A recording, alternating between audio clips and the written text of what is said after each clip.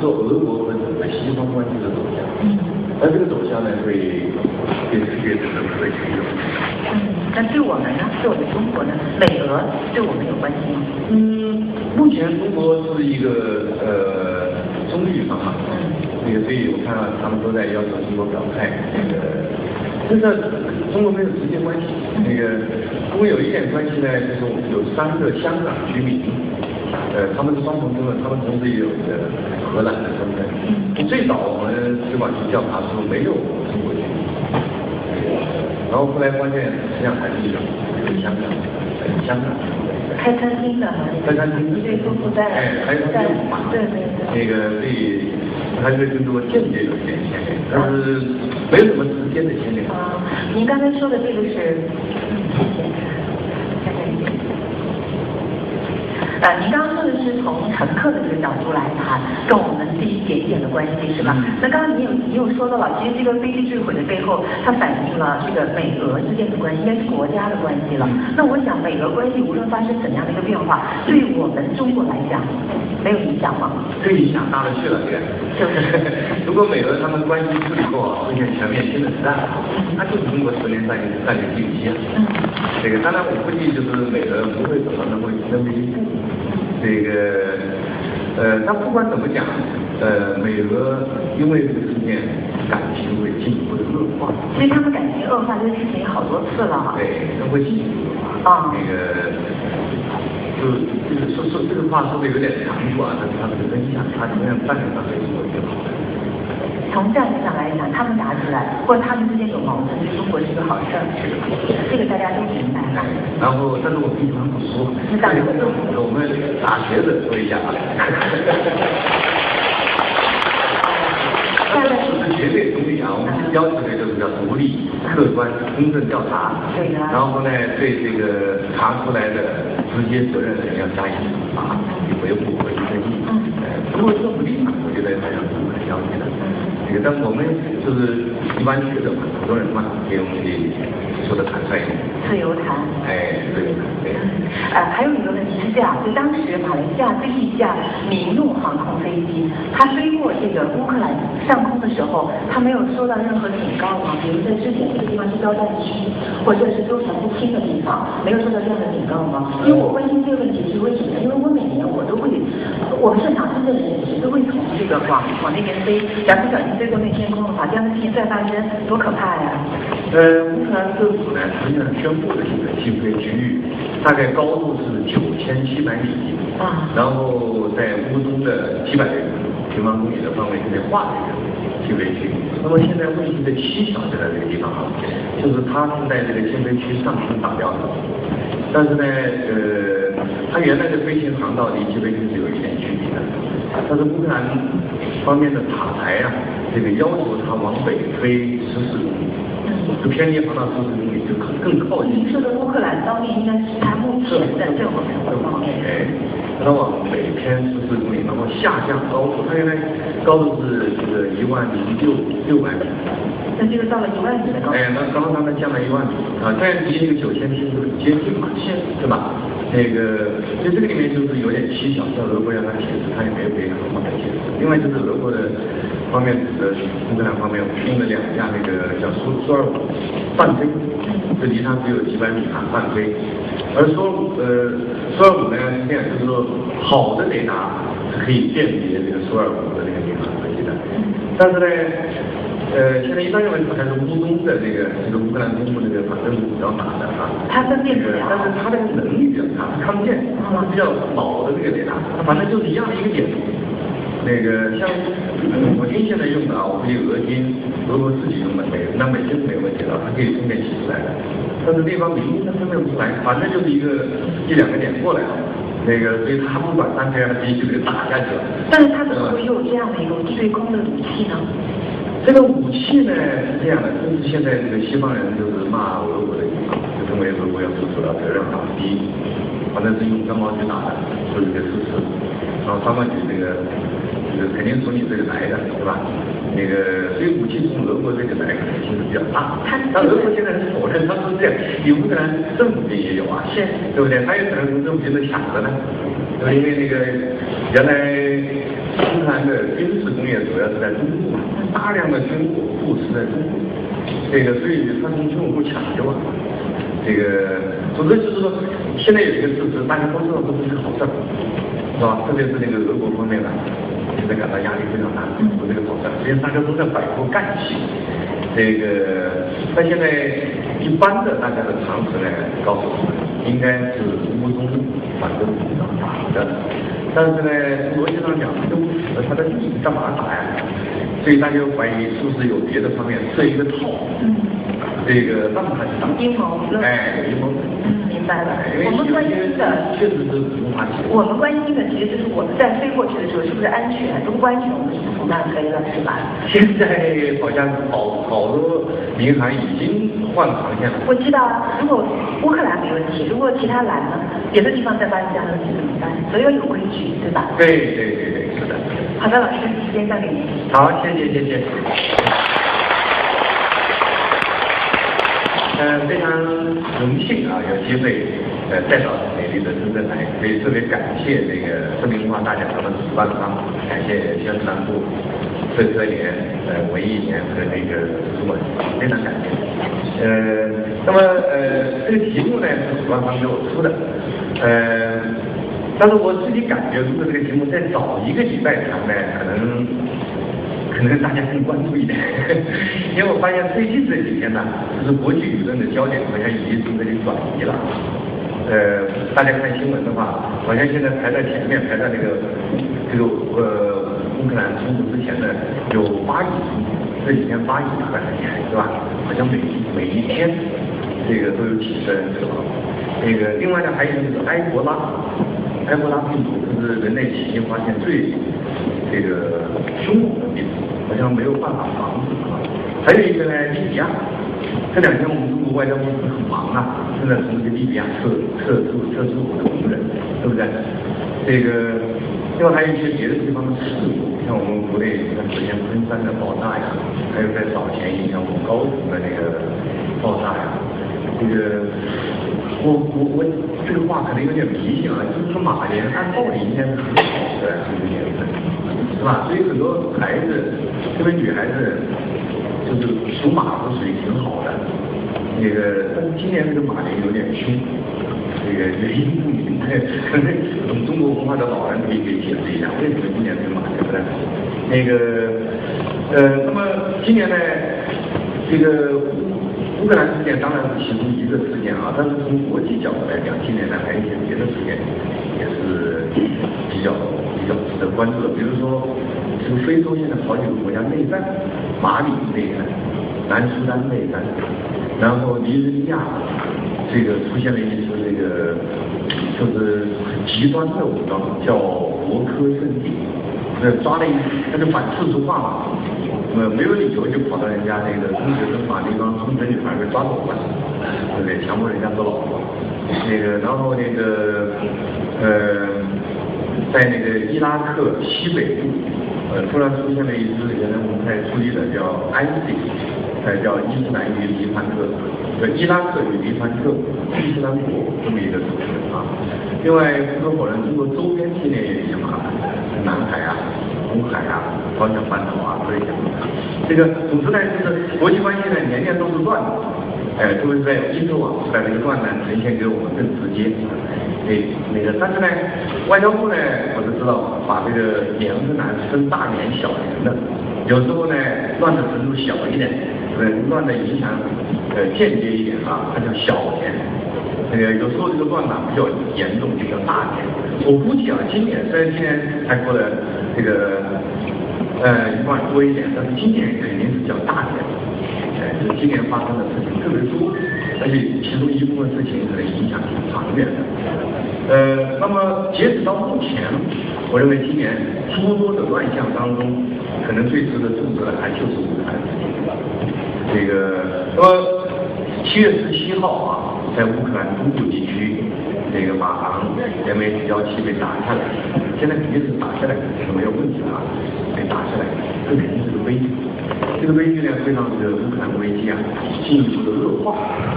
呃，当然恶化以后，它的走向呢，现在我还不太敢下结论。其实如果处理得好啊，国际社会应该更关注。然后对呃参与方压力更大。如果处理得好，也许会达成大和解，然后有助于乌克兰危机的解决。但处理的不好呢，意味着这个俄国与这个西方的关系更恶化，那么整个关系就更不稳定，是吧？那个，总之，呃，这么说吧，就是，呃，因为这样一个事件后面牵涉到复杂的大国博弈，所以这个事件影响就大，就远。啊，所以我我我我会把截止到目前今年的各种关卡，我把这个 M H 幺七事件啊排到头一位。那个，那么大家都知道，呃，M H 幺七这个悲剧出来以后呢，这个现在国际上出现了一场运动啊，就是追查这个肇事者，对吧？那么西方呢有个特点，就是事件出来当天一致的结论，说这个事情是乌东反政府武装战。然后呢，这个俄国支持的，最终的俄国很被动。那么俄国方面呢，就要求呃进行那个独立调查，调查完了才下结论，还调查以前不要下结论。那么呃，联合国呢，在二十一号，就是纽约时间二十一号下午，我们北京时间的二十二号凌晨开过一个会，然后通过一个决议叫二幺六六号决议。那么这个决议呢，我看还可以，双方。呃，这个各方的支持啊，这个决议一致通过，部委都是赞成。这个决议就要求啊，进行独立、客观、公正调查，然后调调查完了有结果了，造成一定要这个受到严惩。这个这个政治科普最关键点。那么呃，现在感觉是调查已经开始了，但是现在客观讲调查很困难，因为什么呢？第一就是调查这个地方在哪上，但你看这炮火下怎么调查，对不对？然后这个地区呢，有一部分是被打成的，有一部分是政府。然后那个为了防备方嘛，他们甚至还在那里排地雷，就弄得这个国际观察员啊、国际调查、国际专家进去不不安全啊。所以首先调查技术上非常困难。再一个就是调查双方都是窃贼，那个互相啊不信任，就是怕对方给自己栽赃啊。就这个调查上面它是一个非常复杂的过程，是个政治结构。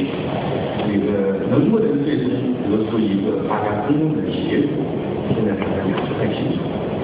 这个我们能欣喜的看到，这个联合国啊提出了一个很好的主张啊，进行独立和公正的调调查，然后一部分说大家比较信任的，就民防组织现在进行就是好，都是比较好的发展。但是呢，我们看到不幸的方面，在这个调查的地区还在进行进展，所以这力量好像。有一点愈演愈烈的意思。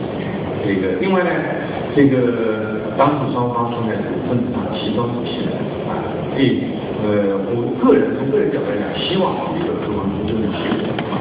但是呢，从现实的角度看，能不能达成这个结果，这个呃，但是不管怎么讲，这个马航呃 M H 幺七事件呢，那个是悲剧是吧？然后呢，这个截止到目前呢。在舆论战方面，应该讲呢，美国为首的西方看得上，俄国是这个两倍。俄国拿出了一些数据，就还有这个数据，但是呢，好像他的这个证据是淹没在这个西方批评的这个海洋里面，对不对？呃，那么呃，我们关于马航 M H 幺七呢，现在应该讲不敢下任何结论，现在下任何结论应该会有很多疑虑是吧？所以只能在等结论。那么，但是我们可以往前推，就马上呢，M H 幺七的结论要等未来一直来回答。但是我们可以往前推，为什么会有这个悲剧发生？那么毫无疑问跟那个呃，已经继续半年多的乌克兰危机有关。这个危机是一个新的环节。那个，那么乌乌克兰危机呢，它大致的过程是这样的啊，就是去年的十一月二十二号，当时的乌克兰总统叫亚努科维奇。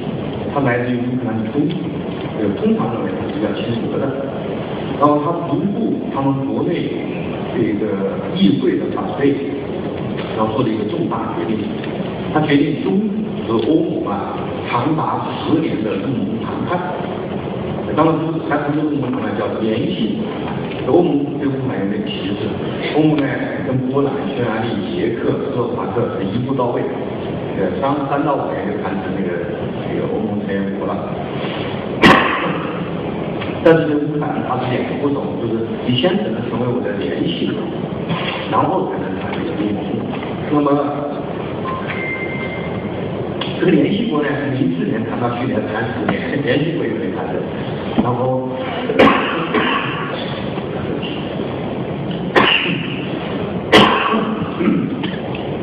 这个总之，零四年一直谈到去年十一月二十二号，一直在联系关系。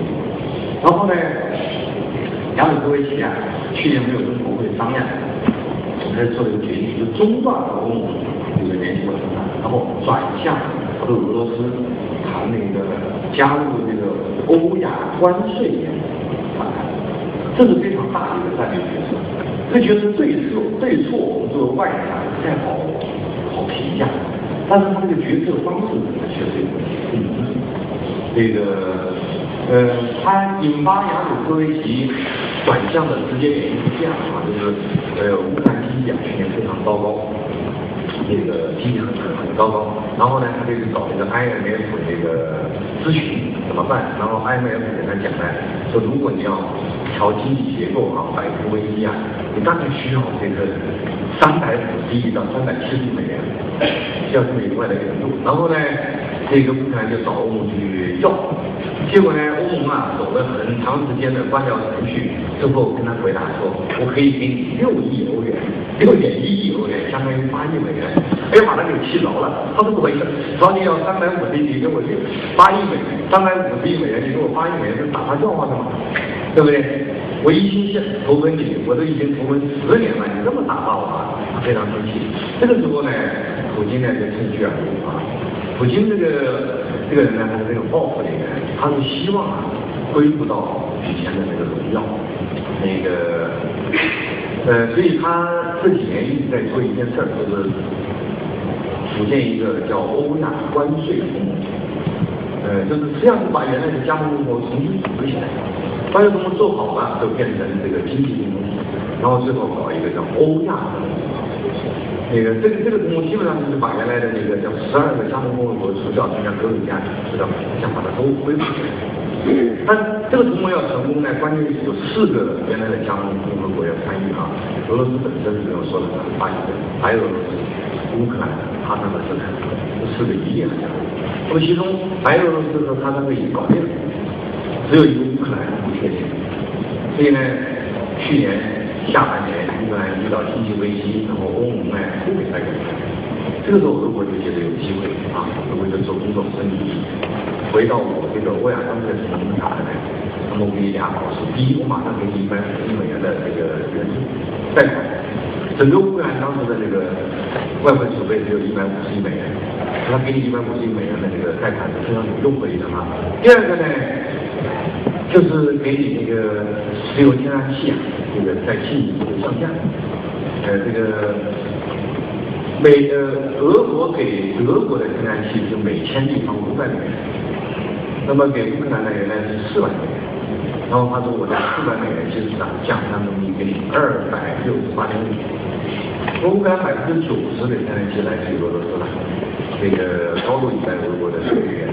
那么如果真拿到这个优惠价钱，那那那对乌克兰经济非常好的啊。那个总之就是亚努科维奇当时。掌管乌克兰面对经济危机，他向外部求助的时候啊，就出现这个情况，欧盟实际上是不理他、冷淡他，而普京呢给他伸出了这个援助之手，所以他就做了这么一个决定，中断欧盟联系国谈判，然后转向俄罗斯的关税谈判。所以介绍完我刚才这个情况，大家自己掂量一下，好像也不太好评价，说他这个事儿从国家利益角度来讲就做错了。从国家利益角度来讲很难说对错，但是有一件事可以批评他，就是程序肯定是有问题。因为乌克兰从九一年独立的以后，整个主流的民意投投奔西方，然后具体的一个目标就是加入欧盟，然后为此努力了十年，对吧？这是第一个主流民意。就在这个情况之下，你要擅自改变这么一个决策，改变国家方向，是很大很大的那个那个动作啊。所以这个动作啊。应该小心一点。我觉得亚努科维奇应该把这个主意啊放到国会讨论，讨论的这个三个月、五个月、一年、半年，是吧？达成共识再转下去。那个，所以去年就十一月二十二号，他主要的问题这个决策程序有点草率，他对不对一定是错误啊？那么下面问题来了，就是你做的一个决定呢，我们不同意，那么你完全可以走合法程序改变它。当时乌克兰的议会三分之二还是亲西方的那个反对派那个议员，那个来自于东部的叫地区党。是支持亚努科维奇，他们只有百分之二十的选票。那个，所以其实如果反对派议员真的爱这个国家，遵守法治，他可以走法治到，就是到议会用他的议会多数，这个要求总统改变立场。这个你要不听我弹劾，或者我今天大选把你选下去都行，对不对？如果那么做啊，就不会有这个危机。但是后来很不幸啊，好像这个反对派议员当天做的反应就是就是决定把这个矛盾激化。当天反对派当中啊几个比较激进的议员带着支持者就到独立广场，而且呢去了就搭了帐篷就准备长期作战。这个而且呢那个呃有图片显示他去了当天还不仅带帐篷还带着砖头去了，整个的砖头，这砖头好像有专人给他切的。是吧？一块砖切四块，拿到手上打人，打得很顺手的，那个是有准备的，准备冒事儿的。所以这个就是有问题啊。当然，这个问是谁让他们这么做的，现在不清楚。俄国人认为是美国人干的，美国人指使，就借亚努科维奇做了一个不妥当的决定，然后冒起事端，然后把他推翻。那个，总之呢，就是去年十一月二十二号，亚努科维奇做这个决策呢，肯定是有不妥当的地方的。他不至于引发的内战，处理的好，就大概如果负责任的话，不会引发内战。现在看来就是曾经有人要闹事，另外立马就上去那个带着一千多人就上街了。然后杨伟科其实很犹豫，他也没有周围有很好的解释，也没有强力的动手啊，然后就拖那个，然后就拖到了今年的二月份。呃，拖到今年二月份以后呢，矛盾就开始激化。这个在这个当中，他们做了无数次谈判，国际社会进行协调。那个应该讲亚洲国际在上部，那个说我可以把一些部长啊交给那个反对派，最后呢总理交给反对派。那个然后他们都不干，最后直接提出你必须你自己得走。这个然后亚洲国际不干，然后就动用强力部门镇压，镇压就导致流血。大概死了一百七十多个人，其中呢有二十几个是警察，那个其他的是警察，那个，然后流血以后，国际压力就加大，加大了以后，到今年二月二十一号，那个亚努科维奇当时的总统啊，就跟反对派就妥协了，达成一个这个协议。你看看那个妥协文本，应该是亚努科维奇全面上这个终止和俄罗斯的谈判。回归和欧盟谈判的渠道，然后呢，那个提前自动谈判，然后修改宪法，限制人民这是反对派所有的要求，全部答应。答应完了以后，又带来新的问题，就是原来支持亚努科维奇的东部来的地区党，这个东部的地区党都是老的国营企业职工，他是原来比较亲西方呃亲俄罗斯的这帮人，他们觉得亚努科维奇是叛徒，就像中共意义上那个顾顺章一样的叛徒。啊，非常我们打的事业，我们这么辛辛苦苦，这个竞选出来的权利就这么就就交出去了，对不对？然后呢，这个二十一号晚上，亚努科维奇反对派打的结，二十二号凌晨，中部支持者宣布和他断绝关系，断绝关系以后他就惨了啊，反正呢不信任他要赶他走，支持者没了，他成孤家寡人了。其实二十二号凌晨呢。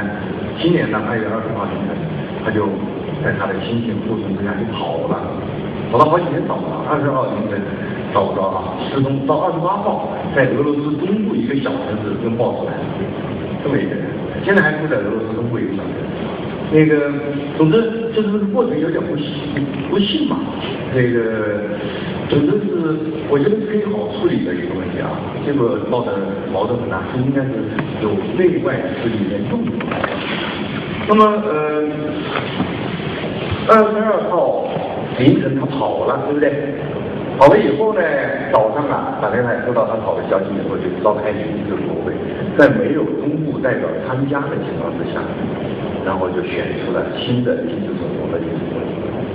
那个完了以后呢，这个就马上就免除了亚努科维奇的总统位置，呃，然后还做了一个另外一个政策啊，做了两件这个很蠢的决定啊，一个就是撤销金标特种兵部队的装备，还要逮捕他的指挥官。呃，乌克兰原来是拥有一个非常强大的军事。乌克兰刚刚独立，一九九一年独立的时候啊，首先它拥有世界上第三大核武库。乌克兰当时的核武器啊，这个超过中国、英国、法国，世界上第三啊。然后美国忽悠他说你要跟我好，你把核武器给交了啊，他就交了，全部才交了以后，美国呢，一九九四年召开了一个叫布达佩斯佩斯会议。然后呢，安理会的五常，包括我们中国，给他一个文件，从我们五家保证不用核武器打你，然后就交了。那个，这个是在人类国际关系上很罕见的，知道吧？其实他要民族情绪强一点、聪明一点啊，你交这个过程啊，今天交一件换十亿美元，我这一千件我换换一万亿美元了，对不对？对对对，他其实可以换来很大的利益，就是坦白讲，就是一帮被西方忽悠的小清新治国，一感动，嘣就交了，换来的就第一纸文件，就是武堂了，说不用核武器打你，我用常规武器打你是违法的，知道吧？现在俄国就这么干，这个是小清新不能治国，嗯，家都管不好，那个小清新主要的任务就是做宠物讨好人，那个管不了这个国家啊，基本的智慧都没有。那个，然后都不行没了，然后呢，自己的那个强大的常规力量也没了，他曾经七十多万军队，两万辆坦克，整个苏军是五万辆坦克啊，两万辆在这仅仅是当时乌克兰的那个重装甲部队啊，一个月很少欧洲多一点，他现在也全部参，现在乌克兰名义上只有十三万部队，但是因为那个经济不好，实际上呢，能作战的部队反而有装备的六万辆。那么这个金标特种兵是最能做到全天候作战的四千人啊，但因为参与对奉亚努科维奇之命镇压了那个独立广场的反对派支持的，所以呢，这帮兵是上台以后啊，情绪化啊，立马就把这个最能作战的部队就撤销了，还要抓他的那个指挥官啊，结果这帮指挥官带着自己的部队就往克里米亚跑。去了克里米亚，然后普京那边很坏，普京那边说那个我引进人才，你来千分之几的时候聪明，养老金涨四倍，所以这帮兄弟全过去了，对，这个克里米亚独立很顺嘛，因为这支部队在乌克兰是没有对手的，这个所以情绪化是不是害人的，知道吧？哎，另外那个还做了一个，就临时政府二月二十二号上午还做了一个很蠢的，就是取消俄语的官方地位。乌克兰实际上还有百分之二十的民众是俄国人，现在也是俄国的苏苏联的加盟国一个部分。那个所以独立以后，它的宪法规定是俄语、乌克兰语、俄语都是官方语言。结果这帮小清新啊，那个上了台以后，所以马上就把那个那个那个把这个俄语就取消了，取消以后，你想他百分之二十的那个。人口的俄国人心里怎么想？他害怕呀，对不对？他一定要跟你闹翻，对不对？那个，所以后来呢是这样啊，就是这件事儿做了以后，俄国都不做侦查，等到这个索契冬奥会结束，二月三号索契冬奥会啊结束，结束以后，俄国开始反击。俄国上来第一个就说你这个反德派成立的那个政府啊是非法的，因为是非法的。他说亚努科维奇是唯一一个全民选出来的。对不对？从民主程序上讲，他。你们是三四十万街头这个拿砖头选出来的，你占人口就百分之一，你既不是枪，是吧？你革命你打仗搞内战，你爆那个打抛抛热血啊！革命是取得合法性的越来越大。还有一点就是选票啊。你的你你要么自己组织队伍长期作战，那个获胜，那也行，那你就可以获得合法性；要么就是选票，你就拿着专利，人口百分之一，你就成立一个政府，这是不合法的啊！这个俄国首先来一个选票。完了以后呢，这个他这一宣布呢，俄国一宣布乌克兰整个东部，特别是克里米亚地区就出现了脱离乌克兰，然后就有了克里米亚。三月十六号的公投，三月十七号出结果是吧？通过结果取消一个然后三月十八号，普京宣布克里米亚回归俄罗斯。这个，这就是大概整个这个事变演变的第一阶段啊。那个是其实是很小的一个政策争论，哦，也不是很小，很重要的一个政政策真的没有处理好而引发的一个政治危机，而政治危机没有处理好，就引发了现在的这个国家分裂问题。这个，然后这个从三月十九号到现在就是第二阶段了。三月十九号呢，这个矛盾就转向了乌克兰其他东部地区。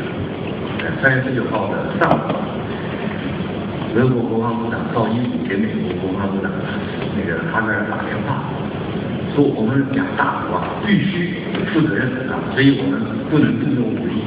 为此，他说我向你保证，我不入侵东乌克兰。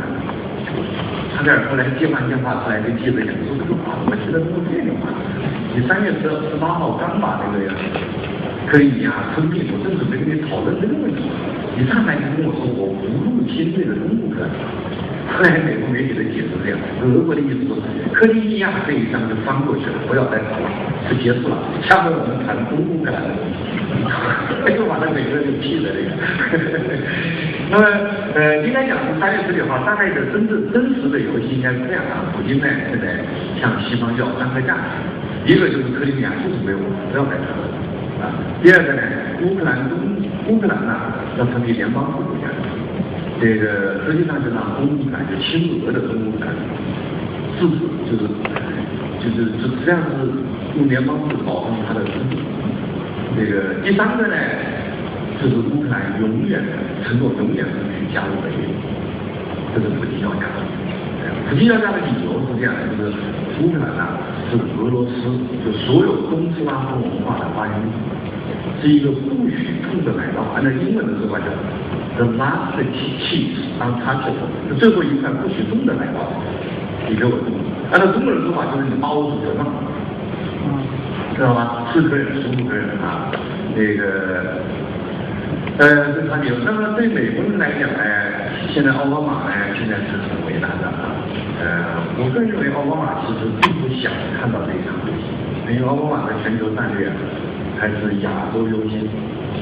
奥巴马自认为自己是第一个太平洋，然后他认为他外交上比较得意的一个主张就是一二零一零年就是回归亚洲，把他的全球战略从欧洲移到亚洲是发现了一个太平洋，这就很得意了。那个但是现在呢，这一闹呢，乌克兰一闹呢，迫使把他出一个右转问题，对不对？对奥巴马其实是不乐见的东西啊，那个所以奥巴马现在其实是比较为难的，呃，到目前为止奥巴马没有答应现的三条件，因此乌东危机就平息下来。什么时候他们达成协议了，乌东危机就结束，应该是这么个情况。那么普京的三个要价呢，奥巴马现在好像没办法答应，那个呃，但是他也没办法压服。所以他也处在很尴尬的境地啊！如果普京的三要求的克里米亚的吞并是合法化，然后乌东地区实施独立，然后乌克兰永远不许加入北约，我就承诺是吧？这个对美国的这个信誉损伤很大的。因为冷战结束以后啊，投奔西方的新新这个欧亚国家挺多的，二十多个，将近三十个。哎，原来中国这个地方十六个国家都投奔他的吧，乌克兰本身、摩尔多瓦是十八个啊，然后呢三个外交家手，然后五个那个的邻居五个斯坦，对不对？这个小三十个国家，他们现在呢都怕奥巴马，奥巴马一让步，这个他就怕普京呐对乌克兰这个逻辑适用到他们所有国家。普京现在担忧乌克兰是不是直接学学美国的？他说乌克兰有我们家的那个人，就是有俄罗斯公民，那个然后呢，就还有俄罗斯一的那个几十公里啊。然后如果你不善待他们、镇压他们，对不对？然后我就学美国在冷战后创立的理论，叫人权高于主权，或者叫干预，是吧？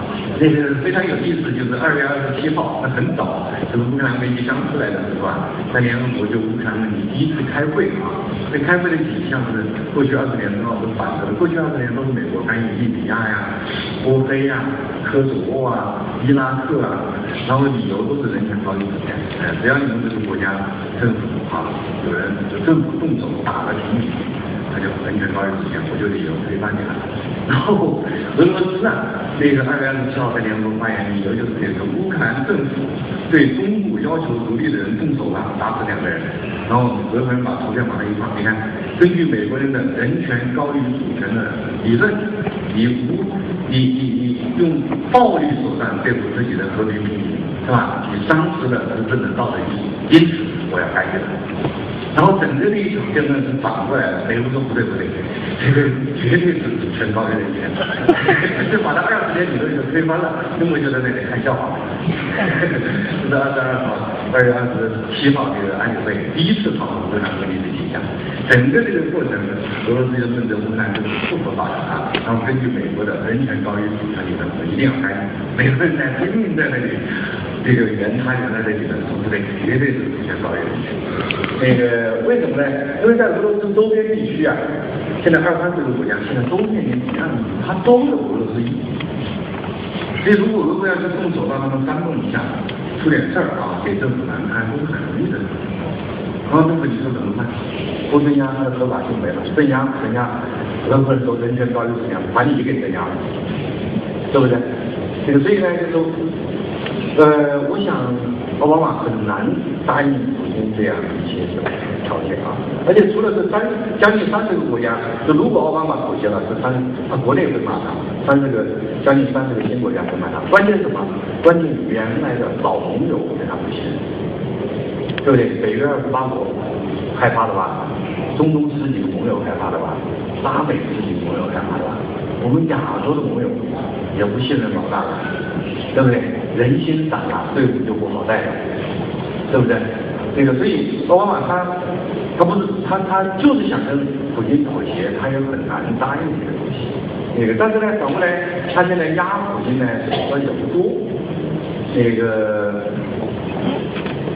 呃，奥巴马也是在二月底第一次就乌克兰问题发言的时候就讲过，说军事手段绝对是排除的，所以第一次讲就把这个军事手段排除了。但是上个礼拜，奥巴马又又一次就乌克兰问题讲话，他还强调说，不仅热战不会有，冷战也不会有，对不对？所以这种对抗性就排除了。所以美国现在用的手段这么几个，一个呢就是经济制裁，主要是金融上的那一些制裁。这个再一个呢就是这个呃舆论批评他，呃按照俄国说法就有点妖魔化机制。很多文化现在普京好像也，普京也在反击啊，对吧？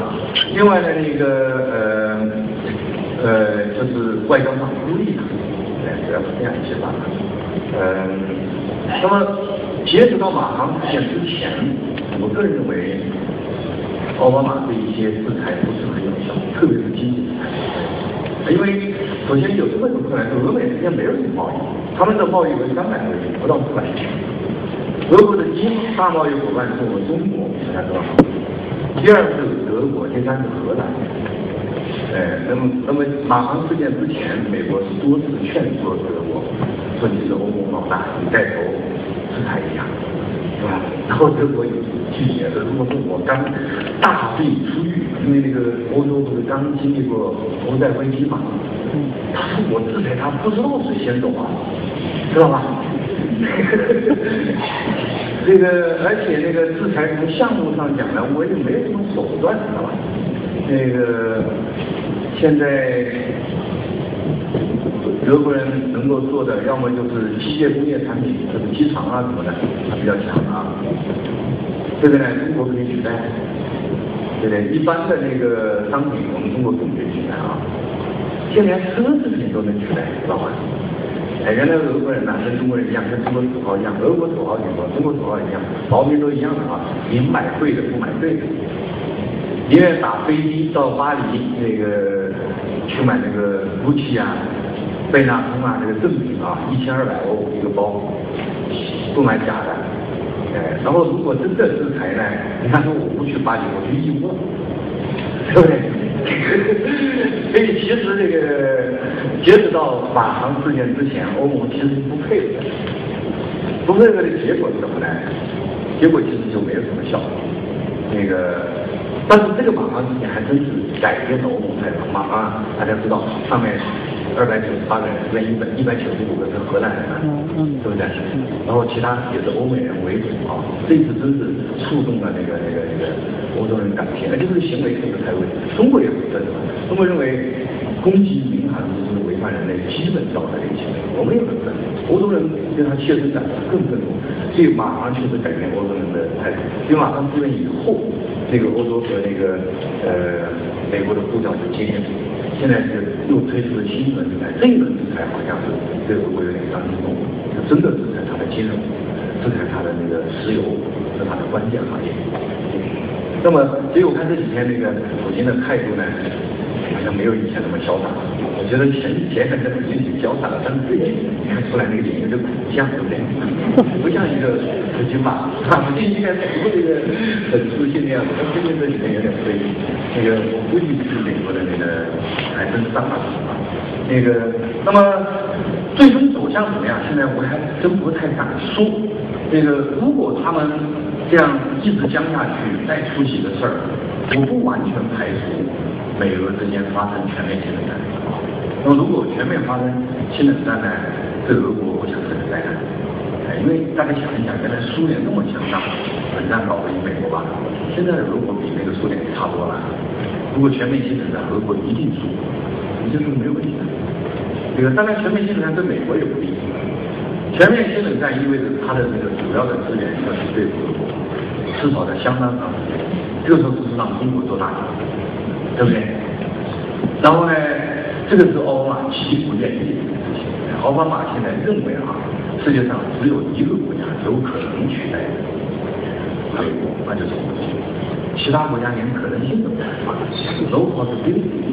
那个，所以他在起点军校，他去公开讲说，俄国就是一个地区国家，你再怎么瞎闹，还就是个支部书记，你当不了党委书记，知道吧？所以呢，奥巴马不愿意这么去干啊。那个，他他们现在是有点为难的。那个对普京来讲，现在有点关系，真把美国惹急了，全面性的战，俄国一定输。这个战术上是没问题啊，战术上他还是美国还是多是比较战略上的。俄国最大的问题经济，这个国家经济相当糟糕，呃，这个国家出口啊，对外出口百分之八十二是靠石油、天然气、其他的矿物。这个跟那个阿拉沙特阿拉伯水平是差不多的，稍好一点，沙特阿拉伯八十六是那个矿物能源。所以这个数据出来，美国人美国人对俄国怎么评价？美国人是一个拥有核武器的沙特阿拉伯。啊，中国人都中国人很崇拜俄国的，因为历史上我们学习过他，把他当老大哥，这个态度没有变啊。美国人，美国人坦白讲不太看得起俄国的，这个是那个呃嗯，OK，总之现在是这样啊，就是双方也因为乌克兰事件暴露开交，感情上很重啊。但是呢，双方还是有理智，尽量在妥协，避免新的战。但是万一发生新的战，大概结局就是战略上俄国弱势，俄国会输掉。俄国的经济支撑力一个强大国家。然后战，但是呢，战战略上美国也会输掉。这个因为如果它全面发生新冷战，中国取代美国世界第一的时间会大大下去，下看，这是毫无疑问的。那么下面简单讲几句，呃，就是这个为什么走到这个现在的这个原因啊，呃，也是算反思吧。一个原因呢，就乌克兰这个国家本身是分裂的，容易被人家记住，这是一个悲剧。是一个国家要在国际上这个取得一定的地位，让人家尊重，你首先自己家里面是这样。对，但是因为历史原因，乌克兰这个国家一直就是分裂的，是很很可悲的一件。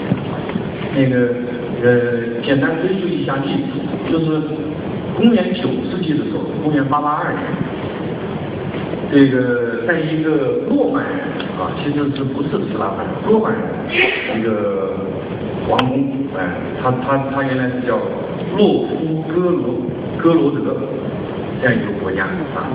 然后他的王公叫奥列格，他呢征服了基辅，然后建立了斯拉夫人的东斯拉夫人的第一个王国，叫基辅罗斯。这是所有斯拉夫人的祖宗。但是很多就是斯拉夫，就是德国历史上很多王啊，其实都是日耳曼人，但是被斯拉夫化，包括这个头一个这个这个这个奥列格。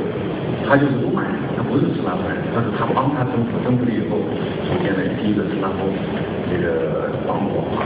所以，然后呢，但是这个王国后来扩大，在那个是九世纪成立，十世纪扩大，然后十一世纪呢分成十八个小王国。但是呢，分裂以后人家就开始修大了，是吧？然后它的西南部，就是今天乌克兰这个地方，就被波兰。它的西北部。就是今天白俄罗斯这个地方被立陶宛人侵略了，然后它的这个东北部啊，就是莫斯科这个地方，后来呢被鞑靼人就是蒙古人，然后形成了今天三个国家，白俄罗斯、俄罗斯和乌克兰。呃，就是现在我们把它叫东斯拉夫三兄弟，是吧？但是其实他们是一个族，是吧？都是从基辅罗斯过来的。那个，那么。就讲到这个这个地方啊，就是乌克兰这个地方呢，它呢被波兰人控制了三百年，然后通过一场民族起义啊，这个呃一八四八年民族起义才获得了独立啊。它非常有意思啊，这个国家这个当时呢军事上不错，他当时这个军事就打得很好，迅速组织了十万人，这个跟这个叫波兰、立陶宛联军作战，打得不错啊。但是这个家伙呢很有意思，政治上他没有出息。他军事上其实已经可以保护保护自己了，但是政治上他还是跪着的。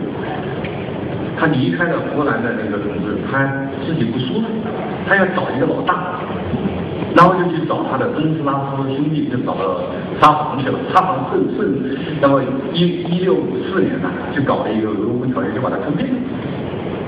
所以财入虎口，肉入狼血啊！这个这个是有有一种启示，就是历史上。在关键的时候，伟大的政治人物还是挺多的。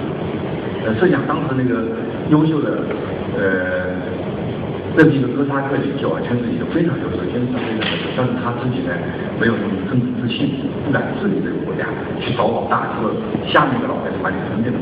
然后就进入到下一段历史，就乌克兰又被俄国那个统治，然后中间他也搞过几次独立，都不成功啊。那么这样两个。这个例子导致的结果是什么呢？就是乌克兰本身呢，这个国家按照中间一条河叫第聂伯河为界啊，分成东乌克兰、西乌克兰。西乌克兰呢是非常亲那个西方，波兰影响很大；东乌克兰非常亲俄罗斯，俄国影响很大，俄罗斯人比例也很高。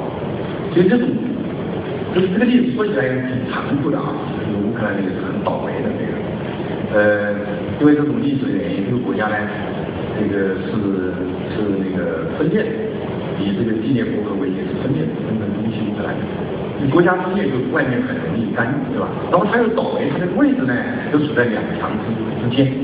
然后它东边是比它强大的俄罗斯，西边呢是比它更发达的欧洲。那个，所以如果你这个国家很强，比周边强，是吧？你可以利用别的矛盾；但你国家弱，人家就利用你的矛盾。是吧？你们家自己就有矛盾，然后旁边有比周边的弱，所以这个这个地理位置加历史背景呢，是乌克兰容易出事的一个大前提。这是一个。第二，这个乌克兰危机爆发的一个现实原因是，一九九一年这个国家独立以来呀，他的领导人我看都不怎么出色。最早的那个领导人呢叫克拉夫丘克，九一到九四第一任总统，然后后面是库奇马。九四年到零五年，十一年啊，然后再接下来叫刘先科，那么再下来叫亚努科维奇啊，现在这个我们叫波罗申科，是巧克力大王。那个，那么这五个领导人现在我看能力都有点问题啊。克兰丘夫呢是比较老的，比较保守的那个，他原来是那个，其实就是当时的那个省委书记。苏联解体有一特点啊，都是当时省委书记宣布独立的。摇身一变就是书记级别过，从摇身一变成总统了，这个这是当时一个一个一个一个特点。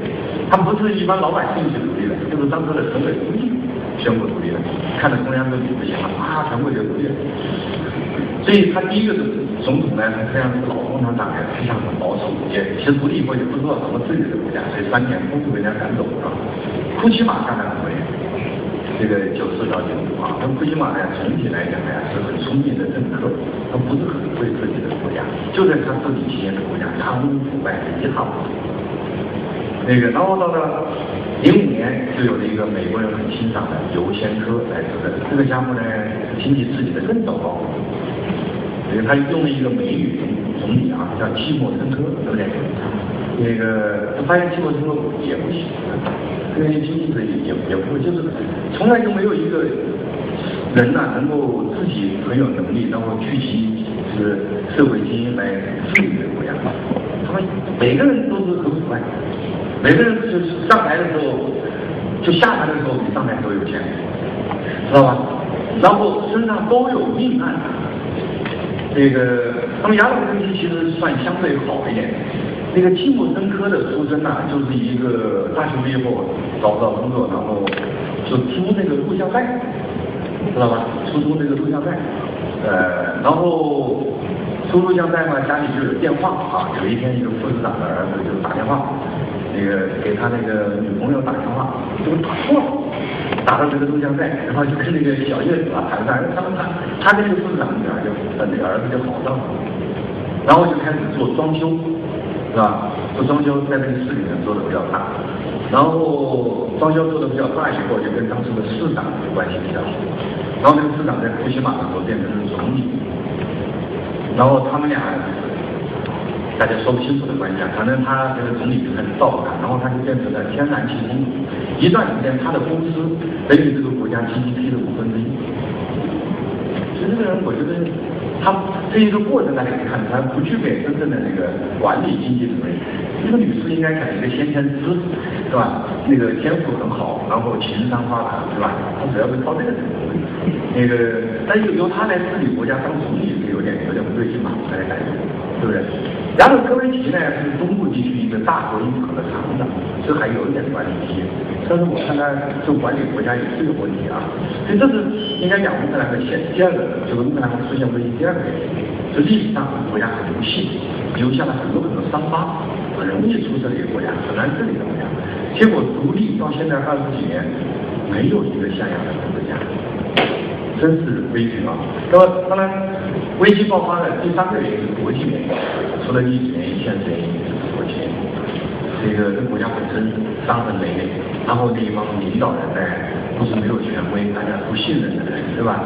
然后这个时候国际上还可以捣乱，就是美国和西方都在这里捣乱。美国、西方和俄罗斯，俄国呢老想把乌克兰重新拉回他的联盟里边，然后美国为。美国为首的西方也是这样，欧洲相对好一点，欧洲其实不太愿意去乌克兰造大，如果是跟他的邻居造大还有损失。现在看美国、欧洲态度不一样，美国是比较喜欢老大的。那个，那么，呃，我我在这里有一次观察啊，好像别的人说的不多，就是美国奥巴马政府内部现在好像是分裂的。这个奥巴马本人呢？呃，出生在夏威夷是吧？然后跟他妈妈一块到那个印尼啊生活了七年。他妈妈后来不是改嫁了嘛？他妈第二个丈夫是一个印尼人啊，那个然后他就去印尼住了七年。所以他对我们亚洲很熟，他有亚洲情节。那个所以他就把自己定义为第一个太平洋。以前美国历史总统全部是大西洋。然后他也深知以后这个世界经济最有活力的地方在我们太平洋地区。最重要的国家挑战者生活啊，他自己的亚洲情节，然后对形势的判断，导致了一个结论，就是我以后的全球战略中心要放到中国周边，放在亚洲太平洋。然后他这个观点呢，应该讲，在他这个班子内部啊，在中级官员当中是得到支持的，军队的校官这个这一级啊，就是。就是在那个冷战结束以后，九十年代成立起来的一帮少壮派军官，他们支持的。但问题在于哪呢？就他的班子当中，一帮将军级的或者老特务、老外交官，还有将军们啊，他们是七八十年代成长起来的。他们呢，这个生活的经验是跟俄国斗，他们看不起中国，这个所以这是奥巴马的问题，就是他统帅要往东部走，往亚洲走，然后那帮校官也跟进了，他是地方将官更有权威的将官，他们的整个这个熟悉的情况还是欧洲，然后所以所以现在发现一个偏差，就是说总统要往这个亚洲走，可是那个将军们呢还是要跟俄国斗。然后现在就出现了这个这个这个呃，触动了俄国最后一个宰刀啊，那个 OK，那么呃嗯，下面讲一点启示啊，就是一个国家呀，在国家认同都有问题的时候啊，启动民主化呀，要更小心。这个如果国家认同没有问题，搞民主化呀。就不会撕裂的一个国家，是吧？如果民主化启动的时候，国家分裂，是吧？东部的人认同俄罗斯，西部的人认同俄罗斯，这个时候民主化会加剧这个，它不会抹合那个脏话，加剧加剧这个脏话。我觉得这是一个一个启示。所以，呃，在启动民主化的时候，这个国家这个机器本身机器得好，是吧？民主化是驾车的方式，而这个国家本身呢是那个汽车啊，因为汽车本身得建好。是吧？你一个呃呃，就是国家框架、国家机构还没有建设好，就启动这个还是非常危险的。呃，这是从看我们也看到这个一个一个启示嘛。那么呃，我最后谈一谈这个呃乌克兰危机对我们的影响啊，在中国影响。这个首先小一点讲，就是经济啊、军工啊这方面的影响。呃，经济影响呢，应该影响不大。中欧贸易啊很小的，但是不到一百个美元，所以导致一结果就是我们北京和那个基辅之间没有直航。哎，如果就是说经经贸关系很好，我们一定是有直航的吧？中乌就是北京和基辅没有直航，这个事实说明中乌的经贸关系是紧密。所以乌克兰现在出的这些事儿呢，对中国没有什么太多的直接经济影响啊。那么军工有一些影响，大家都知道，过去十几年来，乌克兰在军工合作方面跟我们做的挺好的，给了我们很多很多帮助。这个，那么现在看局面乱了，局面乱了以后，可能会在军工上有点影响。这个，但影响到什么程度，我们不知道，外行内行可能。当然也有一个说法呢。不可能军工合作也不重要，因为乌克兰他们家里的家底都被我们掏空了，我们全部学习完成了，可以在可以他的爱发不乱。所以从这是原来大家关注两个点，一个是军工合作，一个是经济合作。现在看看数字好像影响不大。那个呃，那么我们中国呢，自乌克兰危机爆发以来呢，我们的观点是这样的啊，我们呢还是在经历。呃，我们表态呢，就是在这个普京呐，三月十八号宣布核定那个克里米亚的时候呢，我们表示我们站在第一，我们尊重乌克兰的独立和领土主权，这意思是什么？不承认那个普京的这个独立性，对不对？大家看看我们中国的这个官方地图，克里米亚现在还画在乌克兰的境内，对不对？大家去看看我们那个官方地图，乌克兰我们说还是六十万平方公里，欧洲第二大国，那个欧洲第一大国俄罗斯，第二就是乌克兰，第三才是法国。呃，如果从从地图画的话，把那个克里米亚画成那个俄罗斯那一块，是我们官方的曲线，对不对？截止到目前，这是中国的第一立场啊，我们尊重乌克兰的独立和领土完整。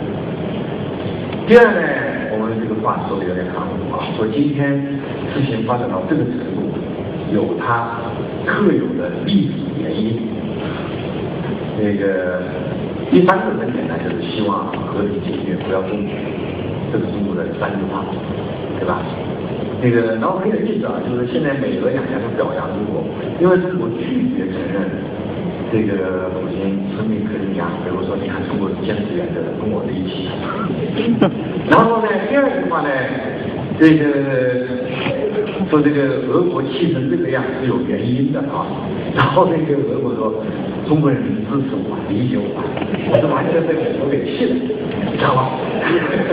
他这个我最后不能动的奶酪啊，他动作发了我祖坟呢，对不对？我这个时候不动作，我对不起我祖宗啊，对不对？然后呢，给他中国这样的话，也是这个意思。我们说你你你你你神经病，你跑去动那个乌克兰干啥？对俄国人来讲啊，这个原来是有一个默契，你知道吧？就是克里呃叶利钦呐，投奔西方的时候有一个默契，就是经济上西方要帮助俄国的。战略上不能挤压俄国的战略空间。那么当时还有决议的承诺，就是美国答应给俄国一千五百亿美元的援助。结果后来美国迟延了啊，都迟延了，战略和经济方面都迟延。经济上，美国给了俄国一百亿美元。那个，然后这一百亿是专项资金，专门干什么呢？拆俄国的一百三十八条核潜艇。这是俄国威胁美国的杀手锏，你知道吧？然后他说你专门给我拆这玩意儿。现在俄国剩的五十几条，拆也拆了一半儿。现在俄国大幅上涨，美国人七十多条核潜艇，俄国五十几条，但是俄国辉煌的时候一百三十八条，世界然后现在美国说，我给你援助一千五百亿，但第一你这个你专开这个，你干完这个我就给你别的，结果干完这个没了，后面是吧？这个后面就气得不得了，干不了这个。第二就是战略承诺啊，原来。那个呃，叶利钦跟他们讲的，就是说我可以让东欧国家独立，哎，然后让加盟共和国独立啊，但是呢，你的北约不能突破。这个，所以呢，按道理原来的八个中中东欧小盟国应该是中立，结果他们现在基本上都成了北约成员国。然后加盟共和国有三个也是北约成员国，就是叫波罗的海三国：立陶宛、爱沙尼亚、拉脱维亚。所以在俄国的立场来讲，真是太气愤了，对不对？我那帮小朋友跟他说中立一点，他说我也算了。因为我们家里我原来所以我的省的三个家，或者这样三个也拿走，我也算了，对不对？因为毕竟我是强行拿过来的血。你现在说乌克兰，这是不足为奇。哎，乌克兰呢，对俄国人来讲，如果失去乌克兰，俄国进入欧洲的这个通道就封锁了。俄罗斯是一个欧洲绝缘。那个如果拥有乌克兰，俄国随时可以占领欧洲。所以乌克兰无论从感情上讲，还是从意义上讲，俄国是绝对不行。所以这个现在反正很奇怪，不知道为什么这个呃这个奥巴马这边一部分人呃那么积极的干预这个乌克兰事务，然后导致了在俄国人看来的第二次世界大战。俄国人现在有一些证据，就是美国外交官在整个今年二月份或者过去半年，乌克兰外交一直是发挥作用。俄国大家知道有克格勃传统吧，情报能力很强，他们搞到一些图片啊，有图有真相，搞到一些图片。然后美国外交官呢，在从去年十一月到今年二月的这个过程当中，白天呢。他在西装笔挺发签证，晚上啊穿便装到独立广场发钱。这个乌克兰经济是很困难的啊，这个是国家的经济之外，可以用数字表达的。一九九一年他们那个独立的时候，它的人均呢是这个五千四百多美元。呃，当时我们中国是五百美元，它是我们的十倍。一九九一年。五千多，在十五个加盟共和国当中，它是排在前五名的。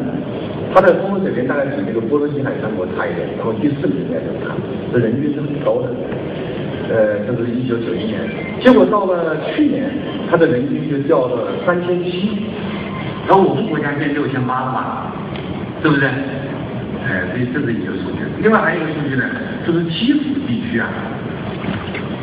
基辅是首都嘛，最低工资相当于人民币六万块钱，这大家感觉到问题了吧？好像深圳这里月最低现在最低工资是一千八，对不对？这是它三倍。最低工资其实是最反映基层老百姓的生活的啊。这个对乌克兰的经济里肯定是失败的。呃，哎呀，咱经济好还是最重要的啊！一好一俊遮百丑啊，经济。经济经济经济差了以后，什么好处都没了。哎，大家可以反过来再想想，刚才经济从当时的五千字搞到现在五万字，这些矛盾都没了，是不是？他说五千多人竟然可以搞成了三千七，这个也不简单，这个，是不是？嗯嗯，OK，这个反正。在在我们中国看，我我我我们当然是从从一个人道主义角度来讲，我希望这危机赶紧过去，不看老百姓生活的不正不正常。今天这个悲剧还是很惨的，真的是啊！现在在中部地区真的是那个，我希望这个过去啊。呃，但是作为学者，我觉得我们现在在悲哀之余，可能得做一点反思，如何自己国家，特别在国家面临分裂的情况之下，是吧？如何抹平这个伤痕、历史伤痕。这个这个这个需要我们一点保护的事呃，我我我我是建议不要就是说那种很冷漠的看客啊，挺高兴这个看热闹。因为对一个学生嘛，还是就是就这个事件这个深入的分析一下，然后看看他他有什么经验教训可以给我们吸取。这个否则的话。我看人家那个这场悲剧就白过去了，从悲剧当中学习啊，这个悲剧给我们人类带来最大的贡献。嗯，另外我还有一个愿望就是，谈危机呢，这个最好还是不要引发美俄之间的战争。刚才我我我其实说那个话也不是特别严肃的，就是说对中国人来讲呢，我们中国还真心希望，世界不要出大乱。是吧？当然是呢，对中国就是从搞战略来讲，特别是现实主义战略啊，希望在全世界都乱，我们国家这个这个这个遏制啊，我们不乱，这对中国最有利可。但是这是传统，现实主义主义这个是这个。但现在呢，这个是其实也是所以现在我们在全球化时代，你中有我，我中有你，真的完全断了，其实对我们也是不好的，对吧？那应该有这么一个看法。所以。呃，两句话吧，就是算作我这一段呃结尾。一个，我真心希望这个乌克兰呢，相关各方内部的、他外部的这些当事方能找到办法妥协，危机赶紧赶快过去，让老百姓可以恢复到正常生活。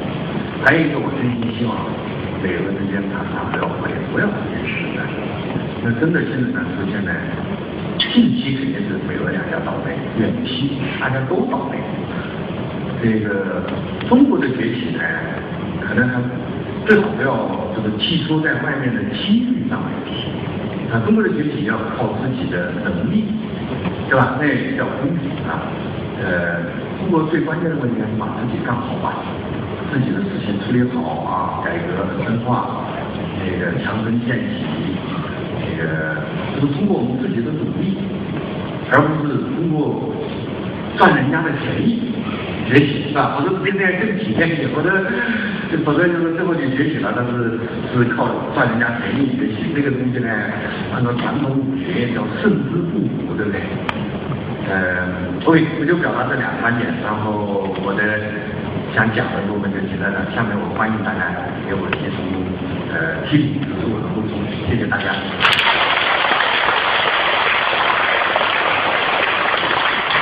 谢谢老师啊，呃，其实刚刚开场我相信其实是在开玩笑。其实你想一想，我们怎么能独善其身呢？这是一个全球化时代，大家的生活的地球上，如果他倒霉了，我们也好不到哪去。即便我们好了，他也过来抢，这这也是个问题啊。呃，下面是给大家介绍两位特别嘉宾啊，呃，一位是宋伟岩老师，欢迎。还有一位是马季先生，欢迎。好的，两位同志，时间可以开始。呃，金院长、主持人和大家观众，下午好。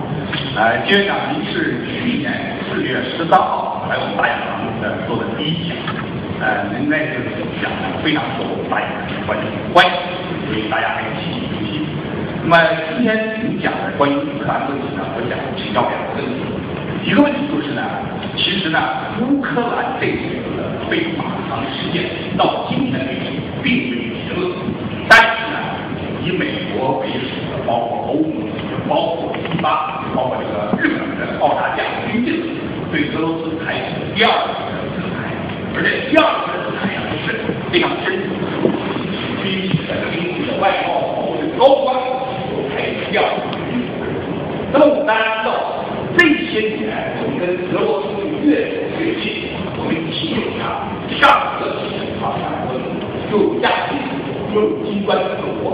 特别是我们注意到，在很多重大的国和俄罗斯的重生重启，比方叙利亚、叙利亚、伊拉克，我们都重启。那么也包括这个我们和日本在闹首相的时候呢，这个俄罗斯强动，这个还坐飞机到北方去闹。所以在这种情况下，我想问问题啊，在美国、欧盟、意大利、日本对俄罗斯第二经济态势，那中国应该如何反应？那么我们和俄罗斯确实现在这个包括两国的领导人都非常亲密，这个一来我们进行去，而且这个我们非常亲密。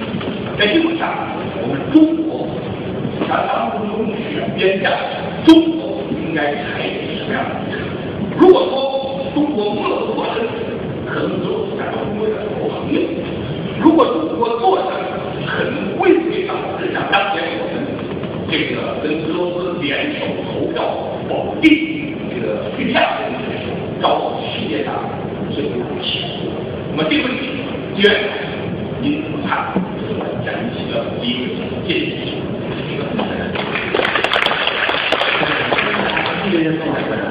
那个这次是很难的一个选择了，那个最终的选择，我觉得是习主席的事。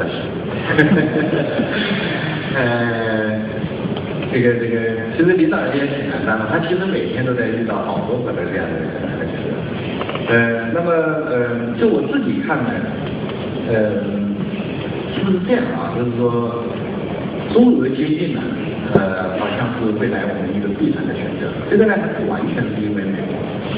呃，这是中俄之间的一个利益之上，我们必须交朋友，就是我们的这个边境在哪？这个呃，中俄之间有四千三百公里的边境，对吧？另外呢，我们和蒙古啊有四千多，另外还有三个斯坦跟我们是接壤的，哈萨克、塔吉克那个呃吉尔吉斯，这个也就是四千公里。所以，如果中俄关系不好，那么那些国家也受俄国影响很大的，他们也会对我们不好。于是，我们整个一万二千公里的北北北部边疆不稳定，这样你搞改革开放就没有调控，对不对？所以，从中国角度来讲，就是别的俄国家长都不说了，就是光这一条，我觉得必须和俄国搞关系。同同理，对俄国也一样，就是他现在远东地区很脆弱，他的力量中心在欧洲，整个远东非常脆弱。如果他跟我们搞不好关系，他远东就全部都是不是？这个对于中国呢，就是从自身利益来讲，一定要搞好关系。那么，但是现在可能有一个额外的理由要搞好关系，就是西方现在对我们两家的歧视，对不对？这边是直接跟俄国就斗啊，所以我们这边呢，当然是斗而不破。这中美关系现在状况比俄美关系要好一点。那个我们是斗而不破，但很显然美国对我们也是不信任，对吧？我刚才已经讲了。一零年开始，从二零一零年开始，当世界银行证实了中国的 GDP 超过美国，啊超过日本，世界第二，那美国对我们的防范性就上来了。二零一七年有一个很有趣的文化现象，就是我们中国 GDP 世界第二，其实很伟大的一个事就是中国所有的媒体和百分之九十的经济学人呐，都跟中国人讲说 GDP 第二一点意思都没有，但是不要把它当回事。然后，于是所有的中国人真就没把它当回事，对不对？但是实际上在世界上呢，引起了很大的波浪。大家想想，一个单位突然出现一个原来大家都不认识的副书记，是这个单位就乱套了，是不是？然后呢，我们外面实际上就遇到几个几个这个这个新的这个环境啊，这个就是一个就是美国啊，防范美国这个国家的特点是谁老二防范谁。它是一种生物学本能，都不要理由的。反正你老二，德国、苏联、日本，尽管他们国家大小不一样，政治制度不一样，和美国关系远近不一样，反正他都防你。这个只要你是老二，他就防你。所以等到市场宣布中国是老二，这个时候美国就开始防你啊。然后，然后出现一个很奇怪的情况，中国人呢，就美国这个单位的书记或者单位的董事长都准备整理，然后中国人差不多都不知道，对不对？这个是二零一零年前后发生的事儿啊。第二个呢，就中国成为这个世界世界第二，就出现了一个周边国家紧张，呃，周边我们的邻居大部分都感到紧张，知道吧？周边的邻居对中国态度是这样说，他们承认你中国这个大象跟美国不一样啊，那个你不是狮子，你是大象啊，你不吃人，你吃草，挺好。那问题是，我是生活在大象旁边的几只兔子，大象一不小心一脚就把我踩死了，对不对？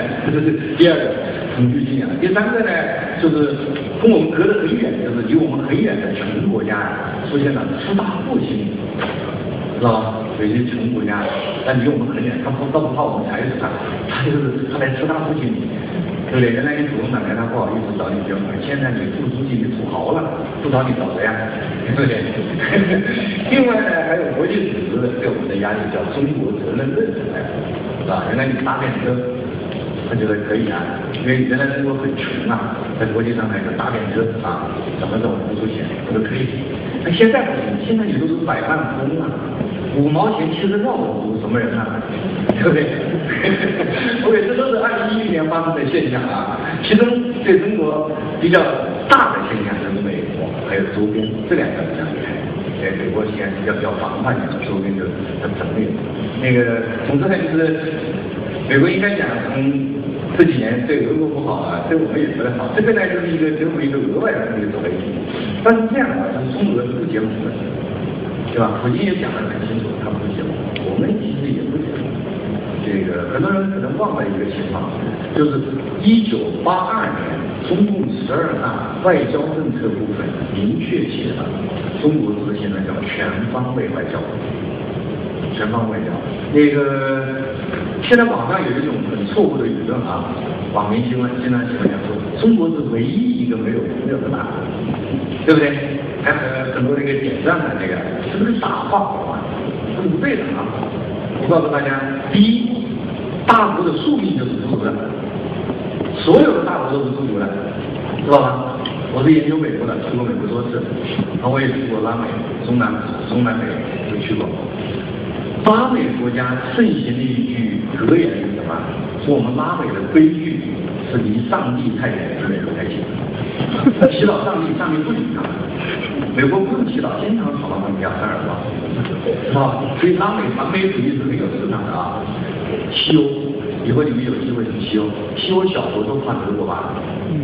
好，东欧所有的东欧国家都怕德国啊，所有南亚国家怕印度，因此。所有东亚国家怕中国，那是非常正常的生理反应，知道吗？庞然大物，中国不连不怕，不怕，要么这个人心理素质极好，要么这个人是心里有毛病的，那个第二种可能性较大，所以这是一个。再一个就是我刚才讲，中国是不要结盟的，是吧？有这个别的大国不一样，别的大国呢其实主观上想结盟结不着，中国还真就是不要结盟，那个因此。我的结论是这样的，就是说，中中俄从自己的双边利益就需要好，然后美国再帮一点，帮一点好，就更好，对不对？那个，但是呢，中俄之间是不结盟的。那个，我觉得这个分寸我们要清楚，就是我们是很好的伙伴，最好的伙伴，但是我们是不结盟的伙伴。那么落到现在最新的问题就是西方又加强了制裁，哎，包括这个日本我看也掺和进来了啊，那个。那么呢，我觉得客观上就是它会促进俄国跟我们进行合作，哎，中俄合作其实是有条件的，就是我们呃是可以帮他比赛。我觉得就是只要俄国敞开胸怀跟我们全面合作，它应该，西方的制裁意义不大，知道吧？那个，然后敞开胸怀和我们中国进行政治合作，西方的外交工具也不大。呃，中国就有能力给它扶起来，那个，但是其实中俄关系有一个大问题，我觉得，俄国精英内心其实还是不认同。俄国真正的精英，他心里都是认同我是欧洲国家，他说我起源于欧洲，是吧？然后我的归属于欧洲。俄国最大的愿望是让欧洲国家承认他的欧洲身份，他不认同中国，那个，而且对中国还是有很深的疑虑。他在美国是进优对中国的远虑啊，德国现在还是战略上有点犹豫，就是他他内心真的想跟美国好，然后美国真的瞧不起他，这是很怪的。美国人自认为我是正宗欧洲西方人啊，那个，然后他把人家俄国人看作他们家的下人，知道吧？我是假设你是我们家那个交大两把车，美国是这么看俄国的。那 个这是俄国的那个悲剧之处，真的想加入美国家庭，美国真的不要他。然后中国真的想跟俄国好，俄国又瞧不起我们，所以这个现在很复杂的一个关系一个关系。但是从纯技术上讲，我觉得俄国要是放开他的经济跟中国全面合作，这点是谈的问题的。但是我还是说，中俄之间不会走到结盟那个地步，结盟了以后呢？对世界是不好的，对自己也不好。因为结盟以后啊，西方会紧张，紧张以后，他就把我们中国拖到那个新冷战里面去了，对吧？那就没有必要了。哎，大概能不能这么说？就中俄现在关系确实挺好，但是主要是我们两家自己的需要。美国呢也帮一点忙，但是次要原因。那我们再好，我们目前还不是结盟，而是伙伴。谢谢。这样讲是叫第二个，就是说，关于这个第二个还有呢，可能是对中国跟乌克兰之间的关系是很大。一个是贸易和比较低，像你刚才说的一样；再一个过去的乌克兰主要是进口我们给他出口的商品，换来一些军用产品，军用武器。那么军用武器呢，这样乌克兰但是目前呢，我所知道很多乌克兰的技术跟军事专家还在中国为中国造中国第一艘航母，在总有啊我们的第一艘、第二艘航母，现在已经在开始建造，其中里面有很多在说乌拉啊乌拉克乌克兰。那么这乌克兰太大，呃，中国，但是我很关心的是，第二艘还可能对俄罗斯如果真的想要的时候。才发生这样的话，我觉得中国跟俄罗斯的影响影响。那么第一点影响就是在于我们的石油通道。那么我们知道中国呢是一个石油开发国家，我们的战略安全其最主要是能源价格。那么我们跟俄罗斯呢经过谈了很多年的时间，还是在花费基础跟普京才达成了石油这个换协议。我们首先四百亿美元才达到利息，那么利息刚刚开始。就出现了制裁。那么石油这个通道，如果说真正被制裁，对我们应该说我们的石油战略影响。第二个就是说呢，军事上我看关键性还是对苏联啊、俄罗斯的军事的出口，包括它的账户，包括它的银卡，都有限制。那么我们现在跟俄罗斯的在武器上的这个互换互动，应该说帮助，因为力度大。苏三五的整体的这个发动机也可以也包括一些常规武器、远程武器，也包括一些轻武器的这个优化。在这种情况下，可能对我们这一方面也是有影响。所以说，我觉得能不能深入的谈一下关于第二个制裁是不是真正对中国俄罗斯在这两个方面石油价格跟武器方面会有些影响？谢谢。谢谢孙老师。那个很显然你是那个军事知识啊比我强，你讲的什么情况我不知道。呃，我只讲讲经济啊，那个经济上是这样的，现在呢，呃，截止到目前呢，这个经济制裁呢还看不出对中美经济关系影响先那个实体是个问题，你比如说那个英国啊，说。可以制裁，但主要德国承担责任。德国人说你这个金融啊，把这个伦敦金融金用了大量俄国资金，你现在做起它了。然后那个法国说，制裁不涉及以往的合同，因为法国有是这个西北通那个合同对，你的资你到手了。所以呢，我觉得他那个西方不是那么团结，是吧？现在原则同意，说这个家伙干了坏事，我们得制裁他，原则同意啊。那具体谁去制裁，都说你去，大家说钱你去，对不对？所以这个制裁，我觉得实施起来会有问题，对吧？这个你想，欧洲三巨头，俄法就是德法英现在有矛盾嘛，所以我觉得制裁实施是有问题的，这是第一啊。第二呢，我看那个还是看那个谈判情况。就是那个布克尔也讲了，然后奥巴马这里也讲了，就是我制裁并不是为了政治上是让，而是改变态度，说你发挥你的影响力，帮助平息东乌克兰的叛乱。那么如果普京跟他们达成协议，制裁就取消，对不对？所以呢，关于这个制裁啊，最终会对中国经济关系产生的影响，我们不知道，还要看一看，看看实施情况，谈判情况。那么落到具体的这个呃中俄石油贸易呢，那毫无疑问，前一轮制裁是让普京下了决心，签了这个合同。呃，合同应该讲对双方都很有利。但我个人觉得中国利益更大，他他总额是四千亿，不是四百亿，就是三十年啊，三十年这个呃四千亿，呃，其实我担心的是什么东西啊？就是油啊还没找着，这是一个问题，知道吧？现在他是用那个给西欧供气的这个油，他说他说是这样的，是我们先给四千亿当中啊，我们给他二百五十亿，叫预付款，他用这个预付款去看淡。那个导游现导游，这个就是我进了那个，让我刚把这个就是全这个时候，还得加工啊什么的。那个那那个时候，我我们是是给他也也有帮助，确实是有帮助，这个缓解他经济有的问题啊。然后呢，他承诺用这个钱呢去看看，那个完了以后呢，那个呃，这这个东部新发现的油油气都给我们，但是呢。真能不能找到我还真不知道，老爷找不着就惨了，这个天气就就就无法落实了，是吧？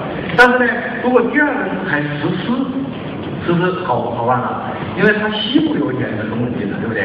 现在是供欧洲油，那一旦他们欧洲真的搞完了，他直接找买家吧？因为油气已经出来了，不是花花往外冒气不浪费嘛，所以他必须把那个给我们，对不对？德国同志就牺牲了他们的份额就给我们了，所以按我直觉，反正第二轮制裁一般不会实施，所以就没什么影响。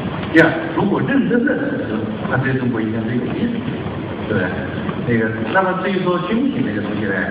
这个军品外，之前网上有很多传言，就是有几个大单啊，包括苏三五啊，还有拉达那个潜艇啊，还有那个汤姆斯莱啊，呃，还有大的运输机是吧？有几个合同准备签，那个呃，如果签单了对中国有好处啊，那可以加速我军的那个叫什么装备升级换代。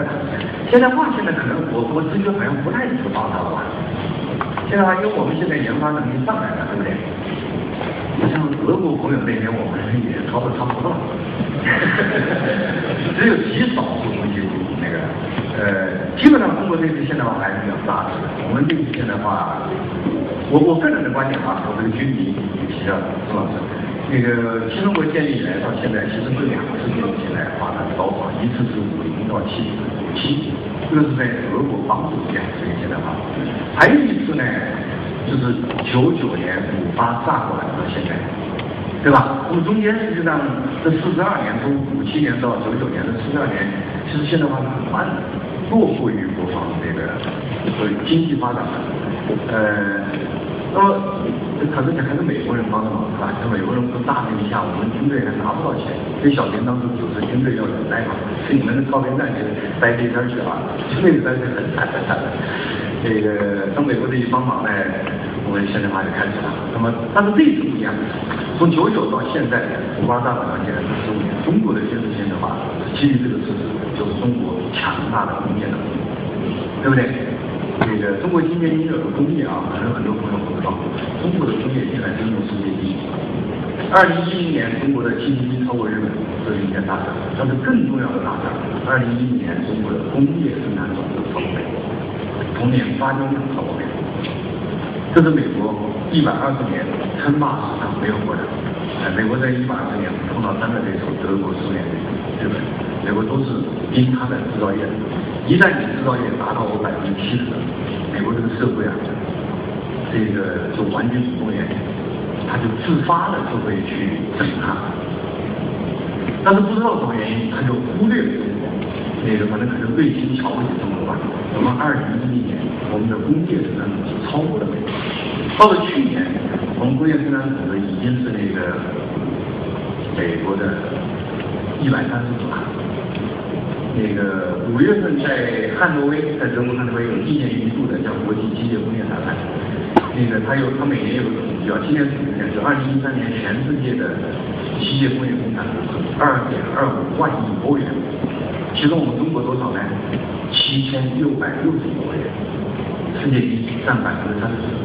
第二名是美国三千一，也就是我们中国是美国的两倍半，是不是？第三名德国两千万，第四名是日本两千亿，我们是日本的三倍半百分。这一点很多人不知道吧？这个非常重要的事情啊。很难看到这样的数据。哦，这数据其实有，只不过媒体人倾向于接中国的手，不表扬中国，知道吧？这是一个职业病导导致的，它不是事实不在，事实到处都在，只不过你不看。这个，那么，但但其实现在现在有一个情况，就是中国现在这个工业基础其实挺好的，呃，可能很多人注意到这个什么？三月底是从我们习主席啊，跑到那个欧洲去访问嘛，其中三月三十一号在法国国民议会有一个重要的讲演啊，然后把欧洲人给吓得够呛。那个，其实就说你们那个伟大的政治家拉夫人讲过，说那个中国是一个税体。如果中国行了，世界将为之震动，是吧？他引到这，其实呃，那夫人下面还有一句话，说他就让中国永远睡着吧。然后其实就没引用到这啊，他就停了啊。但是其实下面就接着跟大家讲，说我很欣喜的告诉大家，我们醒了。但是说你们放心，我们的和平文明友好，今天所有的那个法国报纸。甚至所有的欧洲报纸吓坏了，都都评论，这意思啊，结论说，狮子只有在一个情况下是和平文明友好，那就是吃饱了。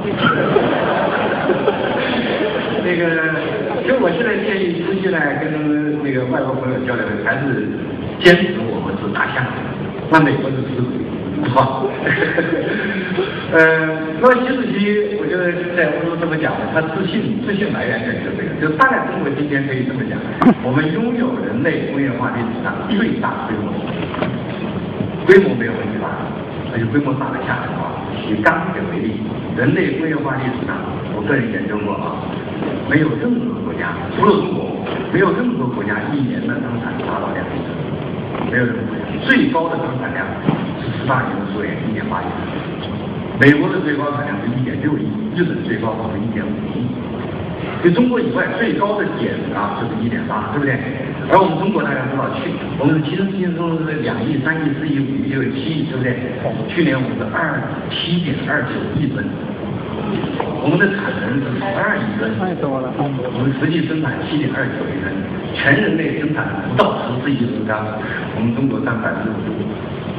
所以现在网民的那个世界钢厂排位啊，第一中国，第二河北，第三唐山。我们河北啊，今年为这个首都的这个空气做贡献啊，河北今年是真做的贡献，它半年时间自己销毁了百分之二十的产能，这个产能是多少呢？六千万吨，六千万吨大家知道什么概念吗？二战的时候全世界的钢产量六千万吨，是我们河北省。合肥省百分之二十的产能，所以这是中国现在厉害的地方。就中国一旦工业化，规模是无与伦比的啊。第二个呢，就是系统建设良好。呃，我们这个国家可能是唯一一个从造火柴到造火箭全部自己造的，从高端到中低端通吃，这是中国的特点啊。我们现在弱点呢，仍然还是这个，就是有一些这个产业关键产业的关键技术不了但但是是主要原因，还是因为我们工业化晚了，是吧？就是在工业化这个水平上呢，我们中国呢可以这么宣布，我们出出出除了，我们过了学徒阶段，我们的二级工是最低级的那个轻工，美国是八级工，美国最厉害，德国七级工，日本六级工，我们是二级工，但是我们出除了，出头的就好嘛，就是我们通过自己学习啊，就可以给我们时间，再有十年我们就五级工了，二十年就。八九公对不对？这个，所以所以，呃，总之这是一个基本事实，我们一定要清楚。中国已经工业化，这一点大家一定要清楚啊！这是中国人说话的底气。这个，然后说到军事呢，我们这一次从九九年五八大火到今天的军事现代化是在中国自己工业化基础上进行的，而且印度完全没这个概念，印度是买来的那个国防，知道吧？那个那是没有根基的啊，嗯。这肯定有点啊，就是下一个结论，就是说我们呢，当然欢迎和俄国朋友继续进行军事合作，呃，对双方都有好处，对战略的信任有好处，对俄国的经济发展也有好处啊。这个俄国我看第一组的人员基本上就是成功了。它的基础性增力的行业，别的行业不行了。俄国的制造业出口占总出口就百分之八，而且基本上呢，就是卖给他那些原来的小兄弟，像乌克兰啊、白俄罗斯啊、哈萨克啊，俄国的产品质量不是很伟的。他那个冰箱啊，二楼一开，三楼一楼都听得到。这个产业呢，造经常大爆炸，爆炸力很大，一炸两就死没了。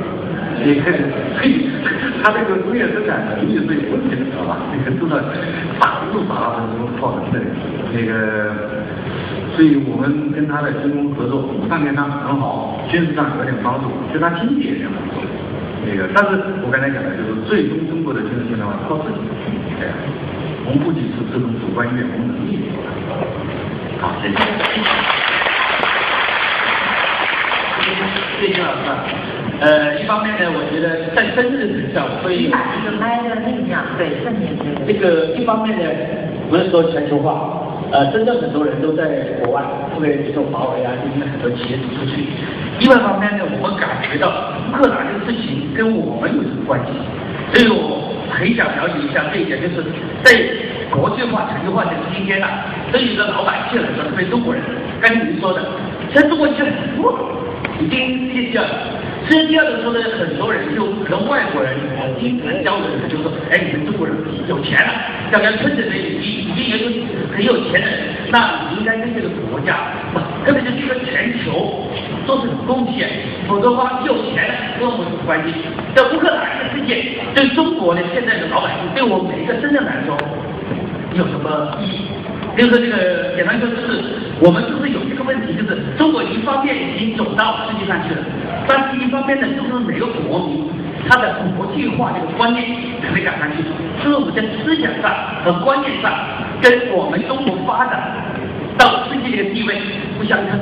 啊，在当年我们曾经说过世界大国，那现在乌克兰大爆炸，我们中国人哎呀，他们谈的最好，而且中美。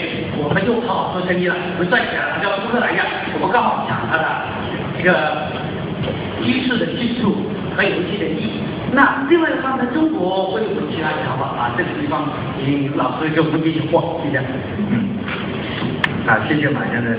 这个呃，我同意你的大判断啊，就是中国啊，这个发展的很快，然后呢，在心理上呢没有什么大的意见。中国有些像一个大工厂。大的那个孩子，就是你初二你是长到一米八五，知道吧？现在的小伙子就是那样，那到底是什么？对，就是你比如说你初二应该就是比如说长到个一米三、一米四就挺好的吧？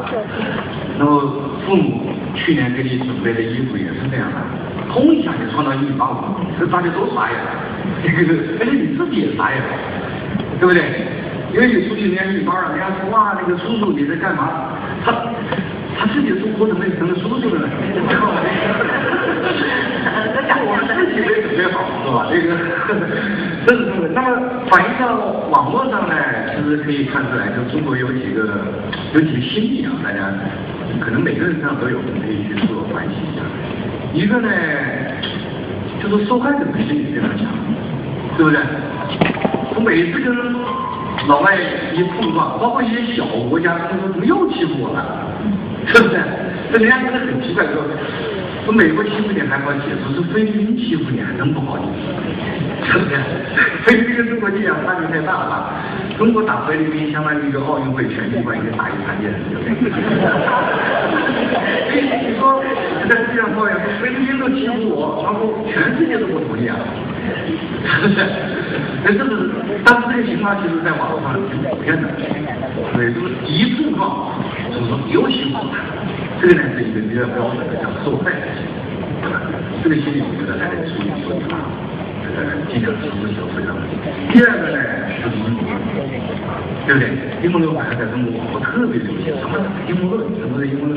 这个其实很多阴谋论可能真没有，就是因为我是跟美国打交道，美国战略界我都认识啊，左右左右两派，共和民主两党，所有的战略家基本上都是，他们没有那么高的智力，知道吧？所以给他俩老子他想不出来，这一点大家要清楚。要比老子没有比中国人老的好。这个呃，所以所以阴谋论有一部分是对的，完全没有英国人太纯洁了，被人家骗。英国人太多，那搞得自己很很很那个情绪低落，很伤神的，是不是？就这两心理，我觉得这个是是代表中国。好像还没有收到所谓的证据，可能还有一个心理呢，是有时候会有比较自大的女性啊。我现在也不在，说网民是不是绑起来，这个也也不得了的，对不对？大家看看那个网民，我经常喜欢引用那个汉那个陈汤的那个说法：“名犯强汉，虽远必诛。”再改成“名犯中华，虽远必诛”，这话其实也不好，对？你的这个心态是不是一个健康的投资人打的心态？这个总之怎么说呢？就是做大国啊，呃，是中国必由之路。我个人对中国的前途是有信心的。这个中国成为世界第一大国、第一强国是一个时间问题，就是早已经晚一点，都是一个可能性。这个，但是我们一定要做好，你得你得你得向着领导。我觉得辜负人民的期待啊，这个辜负上苍的期待，这个所以呃，当然这个里面有个学习过程，这个我们希望就是说大家能够关注这个问题，然后纠正一些不良的倾向啊，培养健康心态。呃，我想未来的世界真还是需要一个心态开放、开朗、健康的，这对中国的福音，对世界的正好。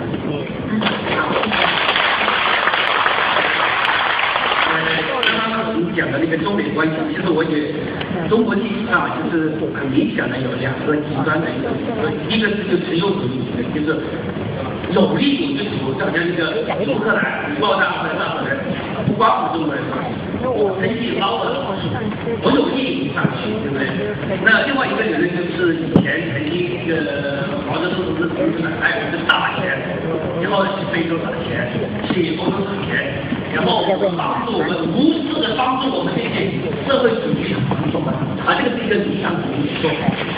这个其实不可能我们的中国啊，这个天下观，那现代化过程中没有把这个外交对，你的有个天下观，中国都你们演的都是野蛮人，中国都是人民，所以呢，你们大把钱，你过来了我就给你钱，就给你。另外一个呢，就是现在的现在人呢，就是这个。美国这样的唯一之徒啊，当然某种程度他也要讲讲一个世界的责任，所以我想我们现在中国的战略是什么样？究竟是这个人主义的呢，还是习主席到处走过去，然后很多都是捐款，或者是买大量的这个呃很多街啊或怎么样？这个这个基本上是哪个方向更好，对我们中国更有利啊？谢谢。呃，这样的，就是。呃，所有国家的外交啊，都是从利益出发的。所以我们经常引用英国十九世纪伟大的政治家叫帕麦帕麦斯顿的那个名言，就是国家没有永恒的朋友，只有也没有永恒的钱，只有永恒的国家利益。这个所以实用主义应该是各国的共同基础。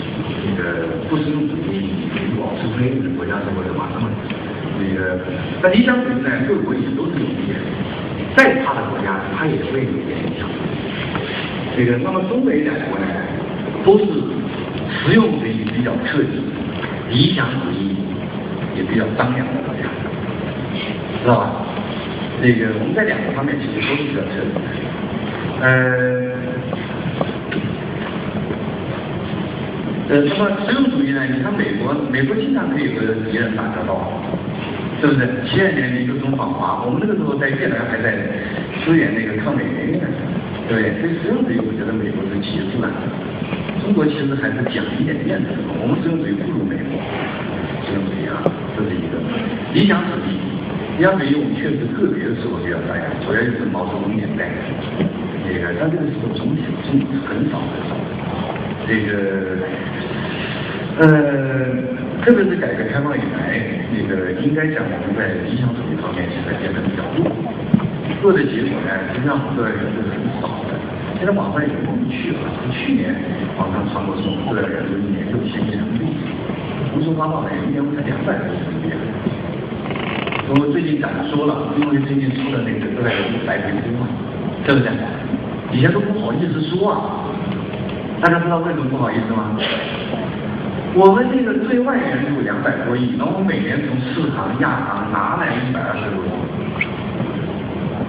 这个我们占我们的 GDP 是零点零三呐，美国是多少？占它 GDP 零点一九，这个我们是美国的六分之一。你本身 GDP 就比人家小，然后呢，你有六分之一啊，你看这样的比例非常非常低。而且我们的一百亿、一百亿。实际上一百多亿嘛，因为总额是两百多亿，你又拿进来一百二十多亿，一百多亿，好在你在外面拿到的合同价值是一万亿，是不是？那个，所以我知道网上这个那那那些人都是这个情绪哪信息哪来的，信息哪来的啊？总之就是中国现在理想主义，我觉得有点欠缺，然后呢，太使用影响这个，然后该负的责任就没有负。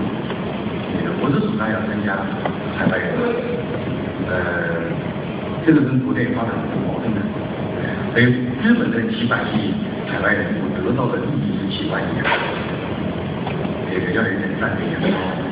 嗯，那么理想主义的恢复呢，需要一点时间吧。现在因为整个社会还是在物质主义阶段，改革开放三十年，传统的很多的东西都没有了。我们现在信仰的是什么？money money go my home，对不对？这个是最实在的信仰啊！这几年呢，小清新编造出一些信仰，跑到西藏转一圈，觉得还有信仰，找找仁波切啊，这个这念几经啊，就是小心心自我安慰、自我欺骗啊，愚蠢的一条邪路。这个这不是正宗的啊！正宗的呢是这样的，你刚才点这个对的，天下。哎，都是中国人的。这个，我倒是建议恢复中，就是部分的恢复啊。他这个天界观是全球化时代天界观，就是你要给全球做贡献的对象。呃，我我这里有一个观点跟大家分享一下，就是说日本、美国、中国啊，我们看人与人的关系，看人与社会的关系，都有一个先天的哲学的框架。这个日本的框架是什么呢？叫皇民观。日本人呢，经过这几百年，其实甚至上千年，从那个呃唐朝中期，就是日本的第一个王朝。因为日本以前是部落社会，到唐朝中期才出现一个王朝，就现在的天天皇这种。日本实际上是就是文明发展很晚的一个国家。这个，然后有这个以后，才可以编造一个系列的神话，就是我们是这个天父，那个天照大神过来，然后我的外外外祖就是道比神啊，那个，然后搞得日本人现在真信这玩意儿。受过再良好社会科学训练的日本教授，隐隐约约觉得我是天照大神的。那个，那么这倒带来一个毛病啊，这毛病什么？就是我是神的孩子，你都是仆人，你跟我不在一个档次。好处呢，就是日本人特别团结；坏处就是日本人习惯的排外，因为我怕他没有在外面的支架，对吧？所以呢，美国人看到这个他就放心了。美国人觉得我的这个哲学观啊，就比你强了啊。因为美国的哲学观是什么？叫上帝观。美国的第一份文件啊，叫《独立宣言》，一七七六年《独立宣言》，对不对？《独立宣言》第一句话是叫“人人生而平等”。英文的表示叫 “woman created equal”，是不是？那么大家知道 “created” 创造这个词就是上帝的意思。所以美国呢，就上帝观，上帝观就跟皇帝关系来了。上帝观说，只要你信上帝，那你怎么种族、出身、什么教育背景啊，都不是上，我们都是兄弟姐妹。是吧？他就比那个黄明官要宽容多了。我在讲日本的黄明官狭隘到什么程度呢？狭隘到外国人其实无法成为日本人。大家想一想，生物学意义上，因为他是神的后代嘛。外国人只有一个情况可以加入日本啊，就是外国的漂亮女人嫁给日本人，给他生个儿子，你是日本人他妈，这个是真的，否则没有任何办法可以进去，对不对？那美国不一样，美国说你只要信上帝，我都欢迎你，是吧？欢迎你来到美丽的美利坚啊！所以美国人看到日本就有自信了，在短力量上，所以日本最牛的时候，八十年代那个九十年代，美国人公开的把日本人叫 economic animal。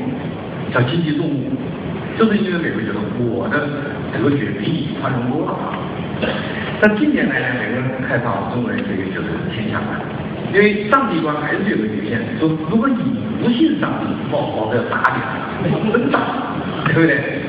中国人呢叫天下观，这是孔子说的有教无类，只要你是人类就行了，什么都给你把你教好，对不对？这写法吧，那比六三零万宽容吧。对不对？日本人看的这个观是差，这个天下观是最宽容的，他他好坏都有。现在他教育下的日本人呢，反正讲最不团结的这个问题，就起码没有日本那么团结，对不对？那个呃，但是呢，就是我们挺包容的，对不对？那个所以。所以中国呃，就是怎么说呢？回到你的话题啊，中中国外交的实用主义，那跟美国是有的一比，那不用说啊，它的理想主义，至少目前确实差一点。毛泽东那个时代理想主义呢，好像又走的有点远。所以就是国际不济嘛，你还是那个还是做那个事儿，那个有点就是超出你的面，没必要。那个，但是现在我觉得恢复一点理想。那个至少，但具体的政治就是在这个元素方面，我认为啊，就是比如说美国是零点一九，我们怎么讲也得搞到零点一吧，对不对？你是未来的党委书记一把手啊，这一点都不做，对不对？都没有责任感，对吧？那个这这是我的个人，我完全个人看法。呃，是时间短要求吗？因为我就在想，就是是不是给啊给观众一点时间，好不好啊？来，我们现场观众，哎，把话筒给这位先生。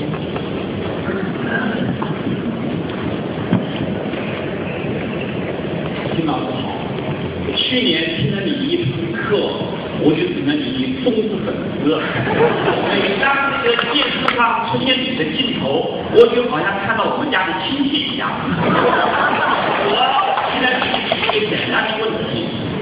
马航出了两件事，都他赔了你。我想问你的是，这个两层事之间有什么样的关联？而且的话，我现在最关心的就是三级进行调查，好像现在会有什么音讯啊？它的走向怎么会怎么样？它的结果又会怎么样呢？谢谢。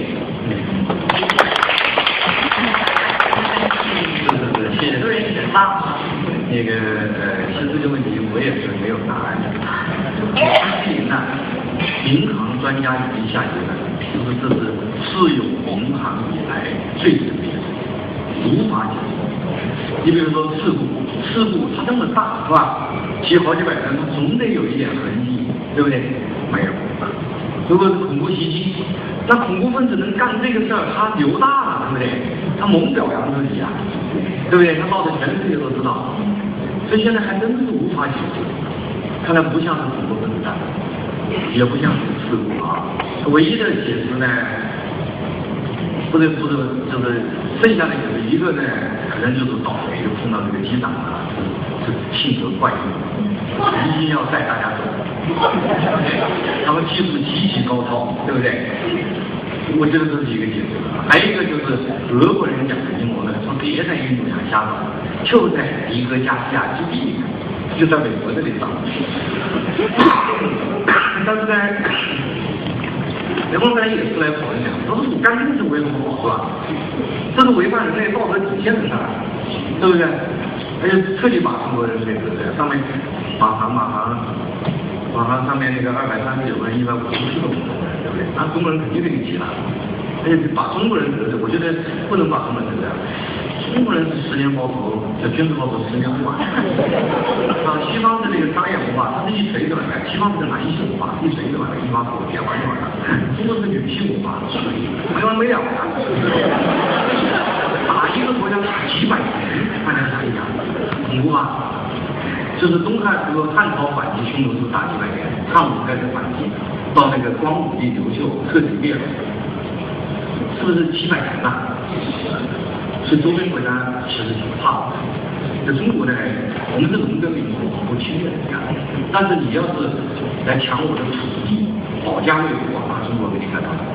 然后呢，关键是中国要反击的话，就是他是没完没了的。那个。基本上是中国敌对的国家，就是不仅是王国，还是种的，这是比较恐怖的。这个，匈奴是非常伟大的民族，知道吗？众神不为，上下两边，是不是准备了找不着了？求什么呀？呃，就是学假说之一，就是匈牙利。但匈牙利这个布达佩斯广场啊，七个这个长老啊，面向什么？我我我们不是家族背景的啊，那个，然后突厥人呢在我们北边嘛，跟中原人打了土耳其是吧？然后高高高句丽人，我去看，真的像，特别像。高高句丽人就是找着了，这里没了，是不是？比较恐怖的。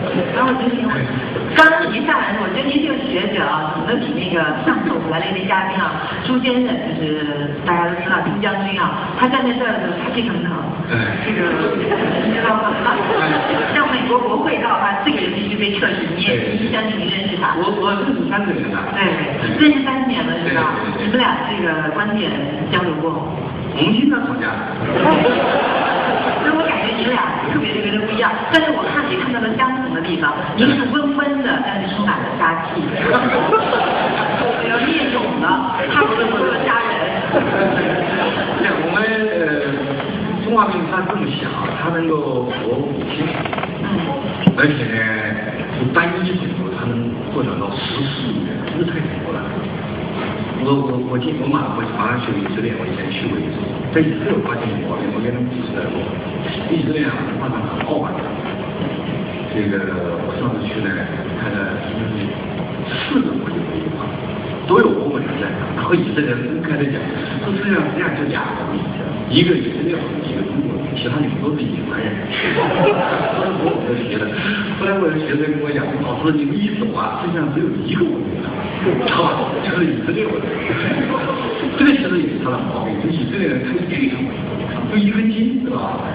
那文明是就是人每个人讲，但是太倔，不善于妥协。所以你看这么优秀，他现在全世界加起来才一千二百万人，这是这个数字。然后被人打的那么惨，经常被人打的跑来跑去的，对不对？我们在比如说我们中国人不行，搞搞了四十亿人，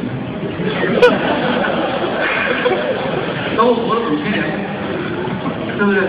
你再怎么骂中国，这个基本的素质太厉害了。所以我跟我的学生讲，就是所有的人造的理论啊，都是历史自然生成的历史一定要知道，这是上帝所在。啊，理论呢，基本上小清新创造的。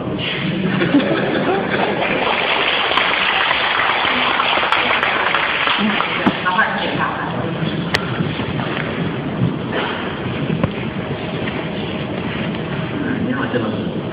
问一下，就是现在就是包括刚才你也说，就是网络现在这个民族主义这个情绪很强烈，经常看到就是网灭了日本，灭了呃越南，菲律宾这些国家，然后就是您怎么看？就是中国和这些国家这种矛盾，会不会会不会发生战争？然后中国这个崛起之路会不会像德国一样，会毁在这个战争方面？啊，陈家明，怎么讲这个问题？这是没有答案的问题。呃，我试图说一下啊，这个首先呢，就是网民的极端民族主义情绪啊，我个人是呃不赞成的。这个中国，我认为这个只要自己犯错。这个一定会世界成为世界首强，就是我刚才讲的，就是一个时间问题，不是感情问题。那么你就一定会负担管理世界的责任。那么你作为世界的管理者，你就不能这个像小青年那样用拳头去斗，对不对？还是均衡啊，平衡生命。所以这种呃奋斗青年心理啊，青春期少年心理啊是不行的。哎，中华民族不能永远在青春期少年阶段里，这个还得成熟啊。这个是我们的利益和世界的利益决定，我们将承担人类的责任，不光是。在你们那边去了，那个，呃，所以就是这种喊打喊杀这个东西呢，我觉得是对的，尽量的要矫正。当然，就是他有一个阶段会经历这个，我觉得好像有点无聊。就是个青春期少年呢，爸妈这个带我带去闹，知道吗？然后等到他自己生儿子，再啪还是爸爸跑啊，这个这个过程没有用的，这个他一定会有这样一个很狂躁那个那样一个阶段啊。这个，OK，这是嗯，那么至于说呃，中国与周边呢有没有冲突的可能性？啊，神仙也不能排除那个冲突的可能性嘛，对不对？但是我只能说，从战略上讲呢，我们不需要这个冲突，是吧？只要中国自己好好发展啊，这些这些冲突在发展中都可以解决啊。最后想这么结束我的这个观点表达，这个我建议呢，大家用。工业化这个关键词来理解中国外交历史。工业化是使得西方超越于西非西方的关键。没有工业化，就不可能形成今天西方主导的现代世界。这个有了工业化，这个我们文人很喜欢讲的西方的文艺复兴、宗教改革、呃法国大革命、地理大发现才变得有意义，知道吧？这个如果没有工业化，今天还是骑马的时代啊，骑兵决胜的时代，西方是没有优势的。中世纪的军事史告诉我们，西方在军事上表现是不输的。成吉思汗的孙子拔都差点把整个欧洲消灭了，对不对？然后奥斯曼土耳其帝国把维也纳包围了两次。中间呢有一次萨拉丁那个统一的那个阿拉伯世界，西方也很大。所以就从从军事角度来讲。工业化以前呢，我都并不出色的，然后从财富积累效率也不如东方国家，知道吧？甚至就是军事和经济都不如。你但是因为工业化，西方就突出了，因为一有工业化就有坚船利炮，然后有机关枪，有机关枪，骑兵的作战使命就结束了。我平原上有一百种机关枪，一万个骑兵，那一万个骑兵就是一堆肉，是没有意义。这个，那么所以结论就是，因为工业化，所以西方就脱颖而出，然后把我们带入了工业文明，然后因为它的贡献，它也成为今天这个世界的主导力量啊。那么在工业化以后，任何一个正常国家，叫大国家啊，它的力量基础就是工业。这个，那么工业呢，现在从实践来看，我个人认为啊，现在工业两个地方搞得很好。一个欧洲的新教体系，一个非西方的儒教体系。这个如果大家去欧洲会发现，欧洲呢，它北边是新教，北欧是新教啊，日耳曼人，人呢是日耳曼崇拜，然后是新教，然后喝那个啤酒。南边呢是拉丁人，个子不高，有点黑的，叫暗白人，不是纯白人，是暗白人，然后是信天主教。对吧？那个，然后呢，喝葡萄酒啊。东边是斯拉夫人，信东正教，是正教，东方正教。然后喝伏特加，是不是这么一个情况？然后你看他们的工业表现能力啊，实际上真正表现好的就是我们，就是新教。因为新教进行的改革，他把人呢，就是赚钱，在所有的宗教里面赚钱是有原罪的。这是新教告诉大家，赚钱是上帝选择你的前提。新教告诉你，你怎么被上帝选择啊？就是你发这个之路，上帝就选你，所以才有新新教人民保护的资本主义啊。没有新教改革，没有资本主义，没有现代化。那个，那么新教集中在北欧，因此现代化三个成功的模式：英美模式、德国模式、瑞典模式，是都在北欧，对不对？其他地方的现代化表现并不是很好。从南欧。转移出去到拉美的这种模式，就是南欧啊有一支亚文明叫伊比利亚半岛文明，就是西班牙葡萄牙，然后转移到那个拉美去了。现代化表现是不是不好啊？拉美人自己说，我们对人类现代化的贡献就是提供各种各样的教训。对不对那个，所以欧洲啊，不是所有的地方都是工业化搞得很好的啊，真正搞得好，其实就一支就是西药。那个，然后非西方呢，还在讲非洲兄弟工业化能力不强，哇，这些中东兄弟全被他回去了，是不是？是这个埃及什么，让几个妇女全部赶回家，不许做教育，不许工作啊，那个赶回去了，他往回跑了，连世界杯都不让看，对不对？那个然后，南亚现在不行，南太更不行，拉美不行，所以非西方兄弟还就是我们孔子的后代就不行。呃，这个话说的有点残酷啊，但是非常客观。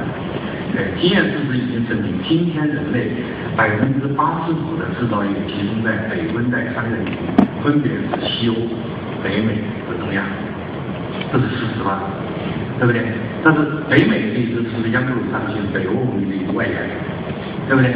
这文明上讲啊，现在好像工业化还只有这两家，那个。那么，我理论是工业化是国家力量的基础，有强大的工业，一定有强大的军事，才有资格 PK 这个技术，有资格这个 PK 强权，对吧？那么工业化只有这两个影响，但是那么下面比规模，比规模呢，中国的规模将是无与伦比的。哎，中国将把人类的工业化推到一个巅峰啊！工业化的起点是一七七六年英在英国发生的，一个苏格兰人叫。詹姆斯·瓦特，对不对？他发明了蒸汽机，然后从此呢，把地下的化石能源变成了变变成地上的动力，人类开始摆脱人力啊的束缚，然后开始进入大机器生产。这个，然后英国因为它的工业化贡献，它主导了十九世纪国际关系，然后形成了日不落大不列颠帝国，对不对？那么大家请注意，英国工业化人口是多少？这是和工业化这种新文明结合的，是一千万人。对吧？好，工业化作为一种支持体系是要扩散的，像水一样，就扩散到苏联和那个北美啊，就是原来欧洲看不起的俩农村地方啊。结果这个时候工业化进入第二阶段，就成为了就和一亿级人口对比，就是就在这样超级大国吧，对不对？今天在中国发生的工业化是十亿级人口工业化呀，大家想一想，这是什么样的进步啊？对不对？小肚鸡肠的人根本是看不见的，对不对？这个，所以中国这次这个工业化是非常伟大的，可能是五百年工业化历史上最伟大的事件，大家正在经历。这个，那么希望带来的是正面的出后果吧，而不是一个消极的后果。这个不完全取决于中国，取决于外部世界接受中国，取决于中国采取正确的态度对待外部世界。那这个基本的事实在这儿，就是工业化因为中国。的到来，进入到十亿级规模，是吧？从千万到一亿到十亿级，理论上呢，还有一个国。家也是十亿级人口规模，那就是印度。印度这个国。家唯一以后唯一能够超过中国。的，就是中国，是吧？这是没有问题的。但是印度面临挑战啊，一个呢，就是怎么把这个新兴的人口变成有效的劳动力，这个是挑战。第二个还是。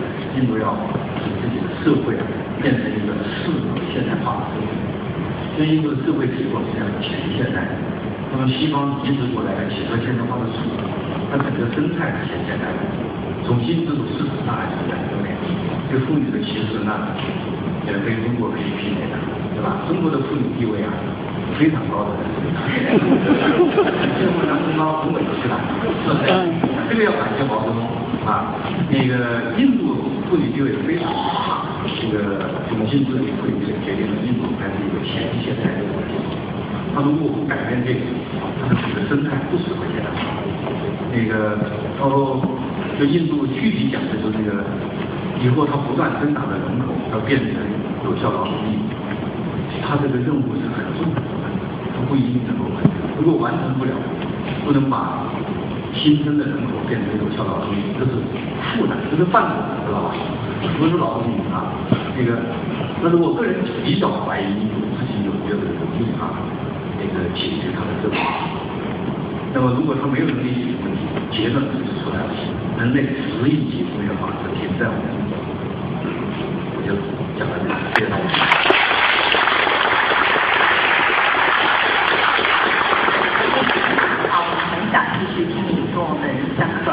呃，大家这个觉得怎么样啊？好。还会有机会啊，还会有机会，你们还有机会把老师当成自己的亲人。好的。